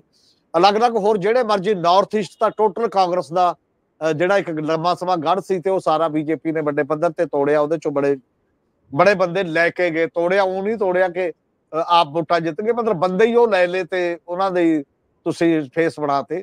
ਤਾਂ ਫਿਰ ਪੰਜਾਬ ਅਪਵਾਦ ਤਾਂ ਨਹੀਂ ਹੋ ਸਕਦਾ ਨਾ, ਜੇ ਤਾਂ ਇਨਫੈਕਟ ਐਕਸਪੈਂਸ਼ਨ ਕਰਨੀ ਹੈ, ਅੱਗੇ ਵਧਣਾ ਹੈ, ਤਾਂ ਤਾਂ ਉਹ ਤਰੀਕਾ ਹੈ। ਨਹੀਂ ਤਾਂ ਤੁਸੀਂ ਆਪਣੇ ਢੰਗ ਨਾਲ ਤਾਂ ਜ਼ੋਰ ਲਾਇਆ ਹੀ ਹੋਇਆ, ਫਿਰ ਉੱਥੇ ਹੀ ਹੋ ਤੁਸੀਂ 23 ਤੇ ਉਹ ਵੀ ਅਕਾਲੀ ਦਲ ਨਾਲ ਅਲਾਈਅੰਸ ਦੇ ਵਿੱਚ। ਤੇ ਪਰ ਹੁਣ ਸਵਾਲ ਇਹੀ ਹੈ ਕਿ ਜਦੋਂ ਜਾਖੜ ਵਰਗੇ ਇੱਕ ਬੰਦਾ ਤਾਂ ਇਹ ਹੁੰਦਾ ਵੀ ਚਲੋ ਉਹਦਾ ਮਿਲਿਆ ਹੋਇਆ, ਚੱਲ ਜੋ ਜਾਖੜੋ ਨਹੀਂ, ਬੜੇ ਲੰਮੇ ਸਮੇਂ ਤੋਂ ਇਹ ਕਹਿੰਦੇ ਆ ਰਹੇ ਨੇ ਵੀ ਨਹੀਂ ਆ, ਮੈਂ ਇੱਥੇ ਫਿੱਟ ਨਹੀਂ ਆ, ਤੁਸੀਂ ਜਿਹਨੂੰ ਮਰਜ਼ੀ ਬਣਾਓ। ਜੇ ਮੇਰੇ ਤੇ ਭਰੋਸਾ ਨਹੀਂ, ਜੇ ਮੈਨੂੰ ਬਣਾਇਆ ਤਾਂ ਮੇਰੇ ਤੇ ਭਰੋਸਾ ਕਰੋ। ਭਰੋਸੇ ਦਾ ਮਤਲਬ ਹੈ ਪੰਜਾਬ ਬਾਰੇ ਜੋ ਵੀ ਸੋਚਣਾ ਬੀਜੇਪੀ ਹਾਈ ਕਮਾਂਡ ਨੇ, ਤਾਂ ਇੱਥੋਂ ਵਾਲਿਆਂ ਨੂੰ ਕੌਨਫੀਡੈਂਸ ਚ ਲਵੇ, ਭਰੋਸੇ ਚ ਲਵੇ ਕੀ ਕਰਨਾ ਜਾਂ ਨਹੀਂ। ਚਾਹੇ ਕਿਸਾਨੀ ਦਾ ਮਾਮਲਾ, ਚਾਹੇ ਪਾਣੀ ਦੇ ਮਾਮਲੇ ਨੇ, ਚਾਹੇ ਬਾਕੀ ਦੇ ਮਾਮਲੇ ਨੇ, ਪੰਜਾਬ ਦੇ ਜਿੰਨੇ ਵੀ ਹੈਗੇ ਚਾਹੇ ਬੰਦੀ ਸਿੰਘਾਂ ਦੇ ਮਾਮਲੇ ਨੇ ਚਾਹੇ ਅਕਾਲੀ ਦਲ ਨਾਲ ਅਲਾਈਅੰਸ ਕਰਨਾ ਜਾਂ ਨਹੀਂ ਕਰਨਾ ਇਹ ਸਾਰੇ ਮੁੱਦਿਆਂ ਤੇ ਉਹ ਚਾਹੁੰਦੇ ਸੀ ਵੀ ਮਤਲਬ ਸਟੇਟ ਲੀਡਰਸ਼ਿਪ ਦੇ ਨਾਲ ਜਿਹਨੂੰ ਤੁਸੀਂ ਸੌਂਪੀ ਹੈ ਤਾਕਤ ਉਹਦੇ ਨੂੰ ਵਿਸ਼ਵਾਸ ਚ ਲਓ। ਪਰ ਉਹ ਸਾਰੇ ਮੁੱਦਿਆਂ ਤੋਂ ਹੀ ਨਿਰਾਸ਼ ਨੇ ਕਿ ਵਿਸ਼ਵਾਸ ਚ ਨਹੀਂ ਲਏ ਜਾ ਰਹੇ ਲਗਾਤਾਰਤਾ ਦੇ ਵਿੱਚ। ਫਿਰ ਉਹ ਕਹਿੰਦੇ ਨੇ ਮੈਂ ਕਰਨਾ ਕੀ ਹੈ ਫਿਰ ਜੇ ਇਹੀ ਕੰਮ ਕਰਨਾ ਫਿਰ ਤਾਂ ਕੋਈ ਫਾਇਦਾ ਹੀ ਨਹੀਂ ਹੈ। ਤੇ ਇਹ ਐਲਾਨ ਉਹ ਪਹਿਲਾਂ ਹੀ ਕਰ ਚੁੱਕੇ ਨੇ ਮੈਂ ਕੋਈ ਇਲੈਕਸ਼ਨ ਨਹੀਂ ਲੜਨੀ। ਤੇ ਇਲੈਕਸ਼ਨ ਤੋਂ ਬਿਨਾ ਵੀ ਪੋਲਿਟਿਕਸ ਚ ਰਿਹਾ ਜਾ ਸਕਦਾ ਸਗੋਂ ਚੰਗੀ ਮਿਸਾਲ ਹੈ ਕਿ ਕੋਈ ਵੱਡਾ ਲੀਡਰ ਹੈ ਕਿ ਮੈਂ ਇਲੈਕਸ਼ਨ ਨਹੀਂ ਲੜਨੀ। ਪਰ ਉਹ ਰੀਅਲ ਪੋਲਿਟਿਕਸ ਕਾਰਨ ਤੁਰ ਪਏ 10 ਸਾਲ ਦੇ ਲਈ। ਤਾਂ ਪੰਜਾਬ ਦੇ ਵਿੱਚੋਂ ਕਿੰਗ ਮੇਕਰ ਦਾ ਰੋਲ ਬੜੇ ਵੱਡੇ ਪੱਧਰ ਤੇ ਸੌਖਿਆ ਨਿਭਾਇਆ ਜਾਂਦਾ ਹੁੰਦਾ। ਕਿ ਇਹਦਾ ਆਪਦਾ ਕੋਈ ਨਹੀਂ, ਇਹ ਜੈਨੂਅਨ ਬੰਦੇ ਤਲਾਸ਼ ਕਰਕੇ ਇਸ ਪਾਸੇ ਵੱਲ ਚੱਲਦਾ ਜੇ ਕਿਤੇ 10-20 ਬੰਦੇ ਇਹੋ ਜਿਹੇ ਹੋ ਜਾਣ ਪੰਜਾਬ 'ਚ, ਜਿਹੜੇ ਐਵੇਂ ਚੱਲਣ ਕਿ ਅਸੀਂ ਨਹੀਂ ਇਲੈਕਸ਼ਨ ਲੜਨੀ, ਪੰਜਾਬ ਦੇ ਵਿੱਚੋਂ ਬਿਹਤਰ ਬੰਦੇ ਤਲਾਸ਼ਣੇ ਨੇ, ਤੇ ਜਿਹੜੇ ਪੰਜਾਬ ਦੀ ਹੋਣੀ ਨੂੰ ਬਾਕੀ ਉਹ ਕਰਨਗੇ ਤੇ ਉਹ ਤੁਰਨ ਪੰਜਾਬ ਦੇ ਵਿੱਚ। ਪਰ ਜਾਖੜ ਸਾਹਿਬ ਮੈਨੂੰ ਉਹ ਜਿਹੇ ਵੀ ਨਹੀਂ ਲੱਗਦੇ, ਉਹ ਪਾਰਟੀ ਸਿਸਟਮ 'ਚ ਵੀ ਐਡਜਸਟ ਲੱਗਦੇ ਨੇ। ਕਦੇ ਨਹੀਂ ਉਹਨਾਂ ਨੇ ਕਿਹਾ ਕਿ ਜੇ ਤੁਹਾਡੇ, ਜੇ ਕਾਂਗਰਸ, ਜੇ ਬੀਜੇਪੀ ਜਾਂ ਕਿਸੇ ਨਾਲ ਉਹਨਾਂ ਦੀ ਨਹੀਂ ਬਣਦੀ, ਤਾਂ ਪੰਜਾਬ ਨੂੰ ਹੋਰ ਸੋਚਣਾ ਚਾਹੀਦਾ ਕੁਝ ਪੰਜਾਬ ਦੇ ਵਿੱਚੋਂ ਨਵੀਂ ਲੀਡਰਸ਼ਿਪ ਪਾਉਣੀ ਚਾਹੀਦੀ ਇਸ ਤਰ੍ਹਾਂ ਉਹ ਨਹੀਂ ਚੱਲੇ ਕਹਿੰਦੇ। ਇਹੋ ਜਿਹਾ ਨਹੀਂ ਉਹਨਾਂ ਨੇ ਸੋਚਿਆ। ਉਹ ਕਹਿੰਦੇ, ਚਲੋ ਘਰ ਬੈਠਦੇ ਆ ਹੁਣ ਆਪਾਂ ਹੋਰ ਕੋਈ ਗੱਲ ਨਹੀਂ, ਬਾਕੀ ਦੀਆਂ ਚੀਜ਼ਾਂ ਜੋ ਮਰਜ਼ੀ ਨੇ। ਹੁਣ ਉਹ ਜੇਪੀ ਨੱਡੇ ਨੂੰ ਮਿਲਣ ਦੀਆਂ ਜਿਹੜੀਆਂ ਗੱਲਾਂ ਨੇ, ਮੇਰੇ ਖਿਆਲ ਇਹੀ ਹੈ ਕਿ ਜਿਹੜਾ ਇੱਥੇ ਰੌਲੇ ਰੱਪੇ ਪੈ ਰਹੇ ਨੇ, ਹੋ ਸਕਦਾ ਉਹ ਬਾਕੀ ਨੂੰ ਮਿਲ ਕੇ ਇਦੋਂ ਪਹਿਲਾਂ ਮਿਲਿਆ ਇਹਨੇ ਹੋਮ ਮਿਨਿਸਟਰ ਨੂੰ ਵੀ ਮਿਲਿਆ ਸੀਗੇ, ਪ੍ਰਧਾਨ ਮੰਤਰੀ ਨਾਲ ਵੀ ਸਾਰੀਆਂ ਕਿਹਾ ਜਾਂਦਾ, ਇਹੀ ਗੱਲਾਂ ਹੋਈਆਂ ਨੇ। ਕਿ ਫਿਰ ਮੈਨੂੰ ਹੁਣ ਤੁਸੀਂ ਛੁੱਟੀ ਦੇ ਦਿਓ ਜੇ ਕਰੇ ਨਹੀਂ। ਪਰ ਉਹ ਅਜੇ ਮੰਨ ਨਹੀਂ ਰਹੇ ਸ਼ਾਇਦ ਹਾਈ ਕਮਾਂਡ ਹੁਣ ਗੱਲ ਇਹੀ ਹੋ ਰਹੀ ਹੈ ਕਿ ਅਜੇ ਹਰਿਆਣਾ ਇਲੈਕਸ਼ਨ ਲੰਘ ਜਾਣ ਦੇ ਉੱਤੇ ਪੰਜਾਬ ਦੀ ਪੰਚਾਇਤ ਇਲੈਕਸ਼ਨ ਲੰਘ ਜਾਣ ਦਿਓ ਸ਼ਾਇਦ ਉਸ ਤੋਂ ਬਾਅਦ ਬੀਜੇਪੀ 'ਚ ਕੋਈ ਰੀਸਫਲ ਹੋਵੇ। ਕਿ ਇਹਨਾਂ ਨੂੰ ਹੀ ਕੰਟੀਨਿਊ ਕਰਨ ਲਈ ਕਿਹਾ ਜਾਊਗਾ ਜੇ ਤਾਂ ਇਹਨਾਂ ਨੂੰ ਹੀ ਕੰਟੀਨਿਊ ਕਰਨ ਲਈ ਕਿਹਾ ਜਾਊਗਾ ਤਾਂ ਥੋੜੀ ਜੀ ਤਾਕਤ ਦੇ ਨਾਲ ਵੀ ਕਿਹਾ ਜਾਊਗਾ। ਫਿਰ ਤਾਂ ਐ ਨਹੀਂ ਹੋਣਾ ਨਾ ਵੀ ਫਿਰ ਤਾਂ ਜੇ ਮੰਨਣਗੇ ਇਹਨਾਂ ਨੂੰ ਕੰਟੀਨਿਊ ਕਿਹਾ ਗਿਆ ਤਾਂ ਇਹ ਵੀ ਕਹਿਣਾ ਪਊਗਾ ਨਾ ਥੋੜਾ ਜਿਹਾ ਵੀ ਚਲੋ ਤੁਸੀਂ ਆਪਣੇ ਢੰਗ ਨਾਲ ਕਰਕੇ ਦੇਖੋ ਕੋਈ ਚੀਜ਼ਾਂ। ਜੇ। ਇਹਨਾਂ ਨੂੰ ਨਹੀਂ ਤਾਂ ਨਵਾਂ ਫਿਰ ਕੌਣ ਬੀਜੇਪੀ ਦੇ ਵਿੱਚ ਹੋਏਗਾ ਜਾਂ ਕਿਹੋ ਜਿਹਾ ਹੋਏਗਾ? ਇਹ ਉਸ ਤੋਂ ਬਾਅਦ ਦੀਆਂ ਅਟਕਲਾਂ ਹੋਣਗੀਆਂ ਬੀਜੇਪੀ ਦਾ ਨੈਕਸਟ ਪ੍ਰੈਜ਼ੀਡੈਂਟ ਕੌਣ ਸਹਮੀਰ ਸਿੰਘ ਜੀ ਅਗਲਾ ਮਾਮਲਾ ਵੀ ਬੜਾ ਅਹਿਮ ਆ। ਅਗਲਾ ਮਾਮਲਾ ਜਿਹੜਾ ਉਹ ਹੈਗਾ ਬੀਬੀ ਜਗੀਰ ਕੌਰ ਨਾਲ ਜੁੜਿਆ। ਬੀਬੀ ਜਗੀਰ ਕੌਰ ਨੂੰ ਅਕਾਲ ਤਖਤ ਸਾਹਿਬ ਵੱਲੋਂ ਇੱਕ ਨੋਟਿਸ ਸਰਵ ਹੁੰਦਾ ਹੈ ਜਿਹਦੇ ਵਿੱਚ ਉਹਨਾਂ ਨੂੰ ਇੱਕ ਹਫ਼ਤੇ ਦੇ ਵਿੱਚ ਵਿੱਚ ਸਪਸ਼ਟੀਕਰਨ ਦੇਣ ਲਈ ਕਿਹਾ ਗਿਆ ਸੀ। ਔਰ ਮਾਮਲਾ ਸਾਹਮਣੇ ਰੱਖਿਆ ਗਿਆ ਰੋਮਾ ਦੇ ਕਤਲ ਦਾ ਤੇ ਕੁੜੀ ਮਾਰਨ ਦਾ। ਹੁਣ ਇਹਦੇ ਉੱਤੇ ਬੀਬੀ ਕਿਰਨਜੋਤ ਕੌਰ ਨੇ ਲਿਖਿਆ ਉਹਨਾਂ ਨੇ ਆਪਣੇ ਸੋਸ਼ਲ ਮੀਡੀਆ ਤੇ ਕੁਝ ਲਿਖਿਆ ਜੇ ਤੁਸੀਂ ਮੈਨੂੰ ਆਗਿਆ ਦਿਓ ਮੈਂ ਉਹਨੂੰ ਪੜ੍ਹ ਦਿਆਂ ਤਾਂ ਕਿ ਇਹਦੀ ਵਿਆਖਿਆ ਜਰਾ ਵਧੀਆ ਹੋ ਜੇ। ਬੀਬੀ ਕਿਰਨਜੋਤ ਕੌਰ ਵਿਰਾਸਤ ਪੱਖੋਂ ਮਾਸਟਰ ਤਾਰਾ ਸਿੰਘ ਦੇ ਪਰਿਵਾਰ ਚੋਂ ਆਉਂਦੇ ਨੇ ਔਰ ਸ਼੍ਰੋਮਣੀ ਕਮੇਟੀ ਦੇ ਕਈ ਵਾਰ ਉਹ ਜਨਰਲ ਸਕੱਤਰ ਰਹੇ ਲਗਾਤਾਰਤਾ ਚ ਉਹ ਮੈਂਬਰ ਰਹੇ ਨੇ ਤੇ ਉਹ ਲਿਖਦੇ ਨੇ ਕਿ ਅਕਾਲ ਤਖਤ ਸਾਹਿਬ ਦੇ ਮੀਰੀ ਪੀਰੀ ਸਿਧਾਂਤ ਦੀ ਤਰਜਮਾਨੀ 18ਵੀਂ ਸਦੀ ਦੇ ਇਤਿਹਾਸ ਤੋਂ ਸਮਝ ਆਉਂਦੀ ਹੈ। ਬਾਹਰਲੇ ਹਮਲਾਵਰ ਵਿਰੁੱਧ ਵਿਉਂਤਬੰਦੀ ਖਾਲਸਾ ਪੰਥ ਅਕਾਲ ਤਖਤ ਤੇ ਇਕੱਤਰ ਹੋ ਕੇ ਕਰਦਾ ਸੀ। ਉਸ ਵਕਤ ਵੀ ਸਿੱਖ ਸਰਦਾਰ ਆਪਸ ਵਿੱਚ ਲੜਦੇ ਰਹਿੰਦੇ ਸੀ, ਪਰ ਆਪਣੀ ਲੜਾਈ ਖਤਮ ਕਰਨ ਲਈ ਅਕਾਲ ਤਖਤ ਤੇ ਨਹੀਂ ਜਾਂਦੇ ਸੀ। ਸਰਬੱਤ ਖਾਲਸਾ ਵਿੱਚ ਹਾਜ਼ਰ ਹੋਣ ਤੋਂ ਪਹਿਲਾਂ ਆਪਣੀ ਮਤਭੇਦ ਨਜਿੱਠ ਕੇ ਇੱਕ ਦੂਜੇ ਨਾਲ ਮਨ ਸਾਫ਼ ਕਰਕੇ ਗੁਰੂ ਗ੍ਰੰਥ ਦੀ ਹਾਜ਼ਰੀ ਵਿੱਚ ਗੁਰੂ ਪੰਥ ਰੂਪ ਹੋ ਜਾਂਦੇ ਸੀ। ਲੜਾਈ ਮੁਕਾਉਣ ਲਈ ਅਕਾਲ ਤਖਤ ਸਾਹਿਬ ਨੂੰ ਸਾਲਸ ਨਹੀਂ ਬਣਾਇਆ ਜਾਂਦਾ ਸੀ। ਫਿਰ ਉਹ ਲਿਖਦੇ ਆ ਨਿੱਜੀ ਕਮੀਆਂ ਜਾਂ ਕੁਰਹਿਤਾਂ ਲਈ ਸਿੱਖ ਆਪਣੇ ਗੁਰੂ ਨੂੰ ਜਵਾਬਦੇ ਹੈ, ਕਿਸੇ ਵਿਅਕਤੀ ਨੂੰ ਨਹੀਂ। ਭਾਵੇਂ ਉਹ ਅਕਾਲ ਤਖਤ ਦਾ ਜਥੇਦਾਰ ਹੀ ਕਿਉਂ ਨਾ ਹੋਵੇ। ਹੁਣ ਤੱਕ ਦੇ ਇਤਿਹਾਸ ਵਿੱਚ ਕਿਸੇ ਬੀਬੀ ਨੂੰ ਰੋਮਾਂ ਦੀ ਬੇਅਦਬੀ ਜਾਂ ਕਿਸੇ ਬੰਦੇ ਨੂੰ ਦਾੜੀ ਕੇਸਾਂ ਦੀ ਬੇਅਦਬੀ ਲਈ ਅਕਾਲ ਤਖਤ ਸਪਸ਼ਟੀਕਰਨ ਦੇਣ ਲਈ ਨਹੀਂ ਬੁਲਾਇਆ ਗਿਆ। ਇਹ ਨਵੀਂ ਪਿਰਤ ਦਾ ਵਿਰੋਧ ਕਰਨ ਦੇ ਦੀ ਲੋੜ ਹੈ ਕਿਉਂਕਿ ਇਹ ਜਥੇਦਾਰਾਂ ਦੇ ਦਾਇਰੇ ਵਿੱਚ ਨਹੀਂ। ਅਕਾਲ ਤਖਤ ਤੇ ਸਿਰਫ ਪੰਥਕ ਕੌਮੀ ਮਸਲੇ ਵਿਚਾਰੇ ਜਾ ਸਕਦੇ ਹਨ, ਨਿੱਜੀ ਨਹੀਂ। ਵੈਸੇ ਬੀਬੀ ਵਿਰੁੱਧ ਘਟੀਆ ਸਿਆਸਤ ਕਰਨ ਵਾਲੇ ਗੁਰਸਿੱਖਾਂ, ਬੀਬੀ ਤੋਂ ਭਾਵ ਬੀਬੀ ਜਗੀਰ ਕੌਰ ਉਹਨਾਂ ਦਾ। ਅਤੇ ਉਹਨਾਂ ਦੀਆਂ ਧੀਆਂ ਭੈਣਾਂ ਤੇ ਮਾਵਾਂ ਦੇ ਚਿਹਰਿਆਂ ਦੇ ਵੀ ਦਰਸ਼ਨ ਕਰਵਾਓ ਤਾਂ ਕਿ ਸਮਝ ਆਵੇ ਉਹਨਾਂ ਨੂੰ ਕਿ ਕਿੰਨੀ ਕੁ ਪੀੜ ਹੋਈ ਹੈ। ਜਥੇਦਾਰ ਅਕਾਲ ਤਖਤ ਨੂੰ ਵਿਅਕਤੀ ਵਿਸ਼ੇਸ਼ ਵਿਰੁੱਧ ਸ਼ਿਕਾਇਤ, ਕੂੜੇ ਦੇ ਡੱਬੇ ਵਿੱਚ ਸੁੱਟ ਕੇ ਸ਼ਿਕਾਇਤਕਰਤਾ ਨੂੰ ਮਰਿਆਦਾ ਤੇ ਸਿਧਾਂਤ ਦਾ ਪਾਠ ਪੜਾਉਣਾ ਚਾਹੀਦਾ ਸੀ। ਸਿੱਖਾਂ ਵਿੱਚ ਘਟੀਆ ਸਿਆਸਤ ਦਾ ਮੋਹਰਾ ਹੋਣ ਦਾ ਪ੍ਰਭਾਵ ਨਹੀਂ ਦੇਣਾ ਚਾਹੀਦਾ ਸੀ। ਇਹ ਸਵਾਲ ਬੀਬੀ ਕਿਰਨਜੋਤ ਕੌਰ ਨੇ ਜਥੇਦਾਰ ਸ਼੍ਰੀ ਅਕਾਲ ਤਖਤ ਸਾਹਿਬ ਤੇ ਉਠਾਤਾ। ਮੈਨੂੰ ਲੱਗਦਾ ਗਿਆਨੀ ਰਘਬੀਰ ਸਿੰਘ ਬੜੀ ਸਾਫ਼ਗੋਈ ਨਾਲ ਚੱਲਦੇ ਚੱਲਦੇ ਕਿਧਰੇ ਔਜੜੇ ਪੈਂਡੇ ਤੁਰ ਪਏ। ਉਹਨਾਂ ਦਾ ਉਹ ਉਲਝ ਕੇ ਲੱਗਦੇ ਆ। ਇਹ ਜਿਹੜਾ ਪੱਤਰ ਸੀ, ਇਹ ਕੋਈ ਬਹੁਤ ਜ਼ਿਆਦਾ ਦਿਆਨਤਦਾਰੀ ਵਾਲਾ ਲੱਗਿਆ ਵੀ ਨਹੀਂ ਕਿ ਕਿਸੇ ਨੂੰ ਤੁਸੀਂ ਰੋਮਾ ਦੀ ਬੇਅਦਬੀ ਲਈ ਦੁਨੀਆ ਭਰ ਦੇ ਵਿੱਚ ਜਿਸ ਤਰ੍ਹਾਂ ਦਾ ਮਾਹੌਲ ਬਣ ਰਿਹਾ ਜਿਸ ਤਰੀਕੇ ਨਾਲ ਚੀਜ਼ਾਂ ਵਾਪਰ ਰਹੀਆਂ ਨੇ, ਸੋ ਸਿੰਘ ਸਾਹਿਬ ਦਾ ਇਸ ਤਰ੍ਹਾਂ ਦੀ ਸਿਆਸਤ ਵਿੱਚ ਪੈ ਜਾਣਾ, ਮੈਂ ਕਿਵੇਂ ਸਮਝਾਂ ਜੀ ਤੁਹਾਡੇ ਕੋਲ? ਬਿਲਕੁਲ, ਪਹਿਲਾਂ ਤਾਂ ਜਿਹੜੇ ਸ਼ਿਕਾਇਤਕਰਤਾ ਨੇ ਉਹਨਾਂ ਦਾ ਪੈ ਜਾਣਾ ਤੇ ਫਿਰ ਸਿੰਘ ਸਾਹਿਬ ਦਾ ਪੈ ਜਾਣਾ। ਜਿੱਥੇ ਜਾਂਦਾ ਤੇ ਉਹਨਾਂ ਦੀ ਬੜੀ ਉੱਥੋਂ ਵੀ ਆਪਾਂ ਪਹਿਲਾਂ ਵੀ ਇਹ ਗੱਲ ਕਰ ਚੁੱਕੇ ਆ ਕਿ ਕੀ ਹਰ ਮੁੱਦੇ ਤੇ ਹੀ ਜਿਹੜਾ ਵੀ ਸ਼ਿਕਾਇਤ ਚਲੀ ਜਾਊਗੀ, ਜਵਾਬ ਮੰਗਿਆ ਜਾਊਗਾ।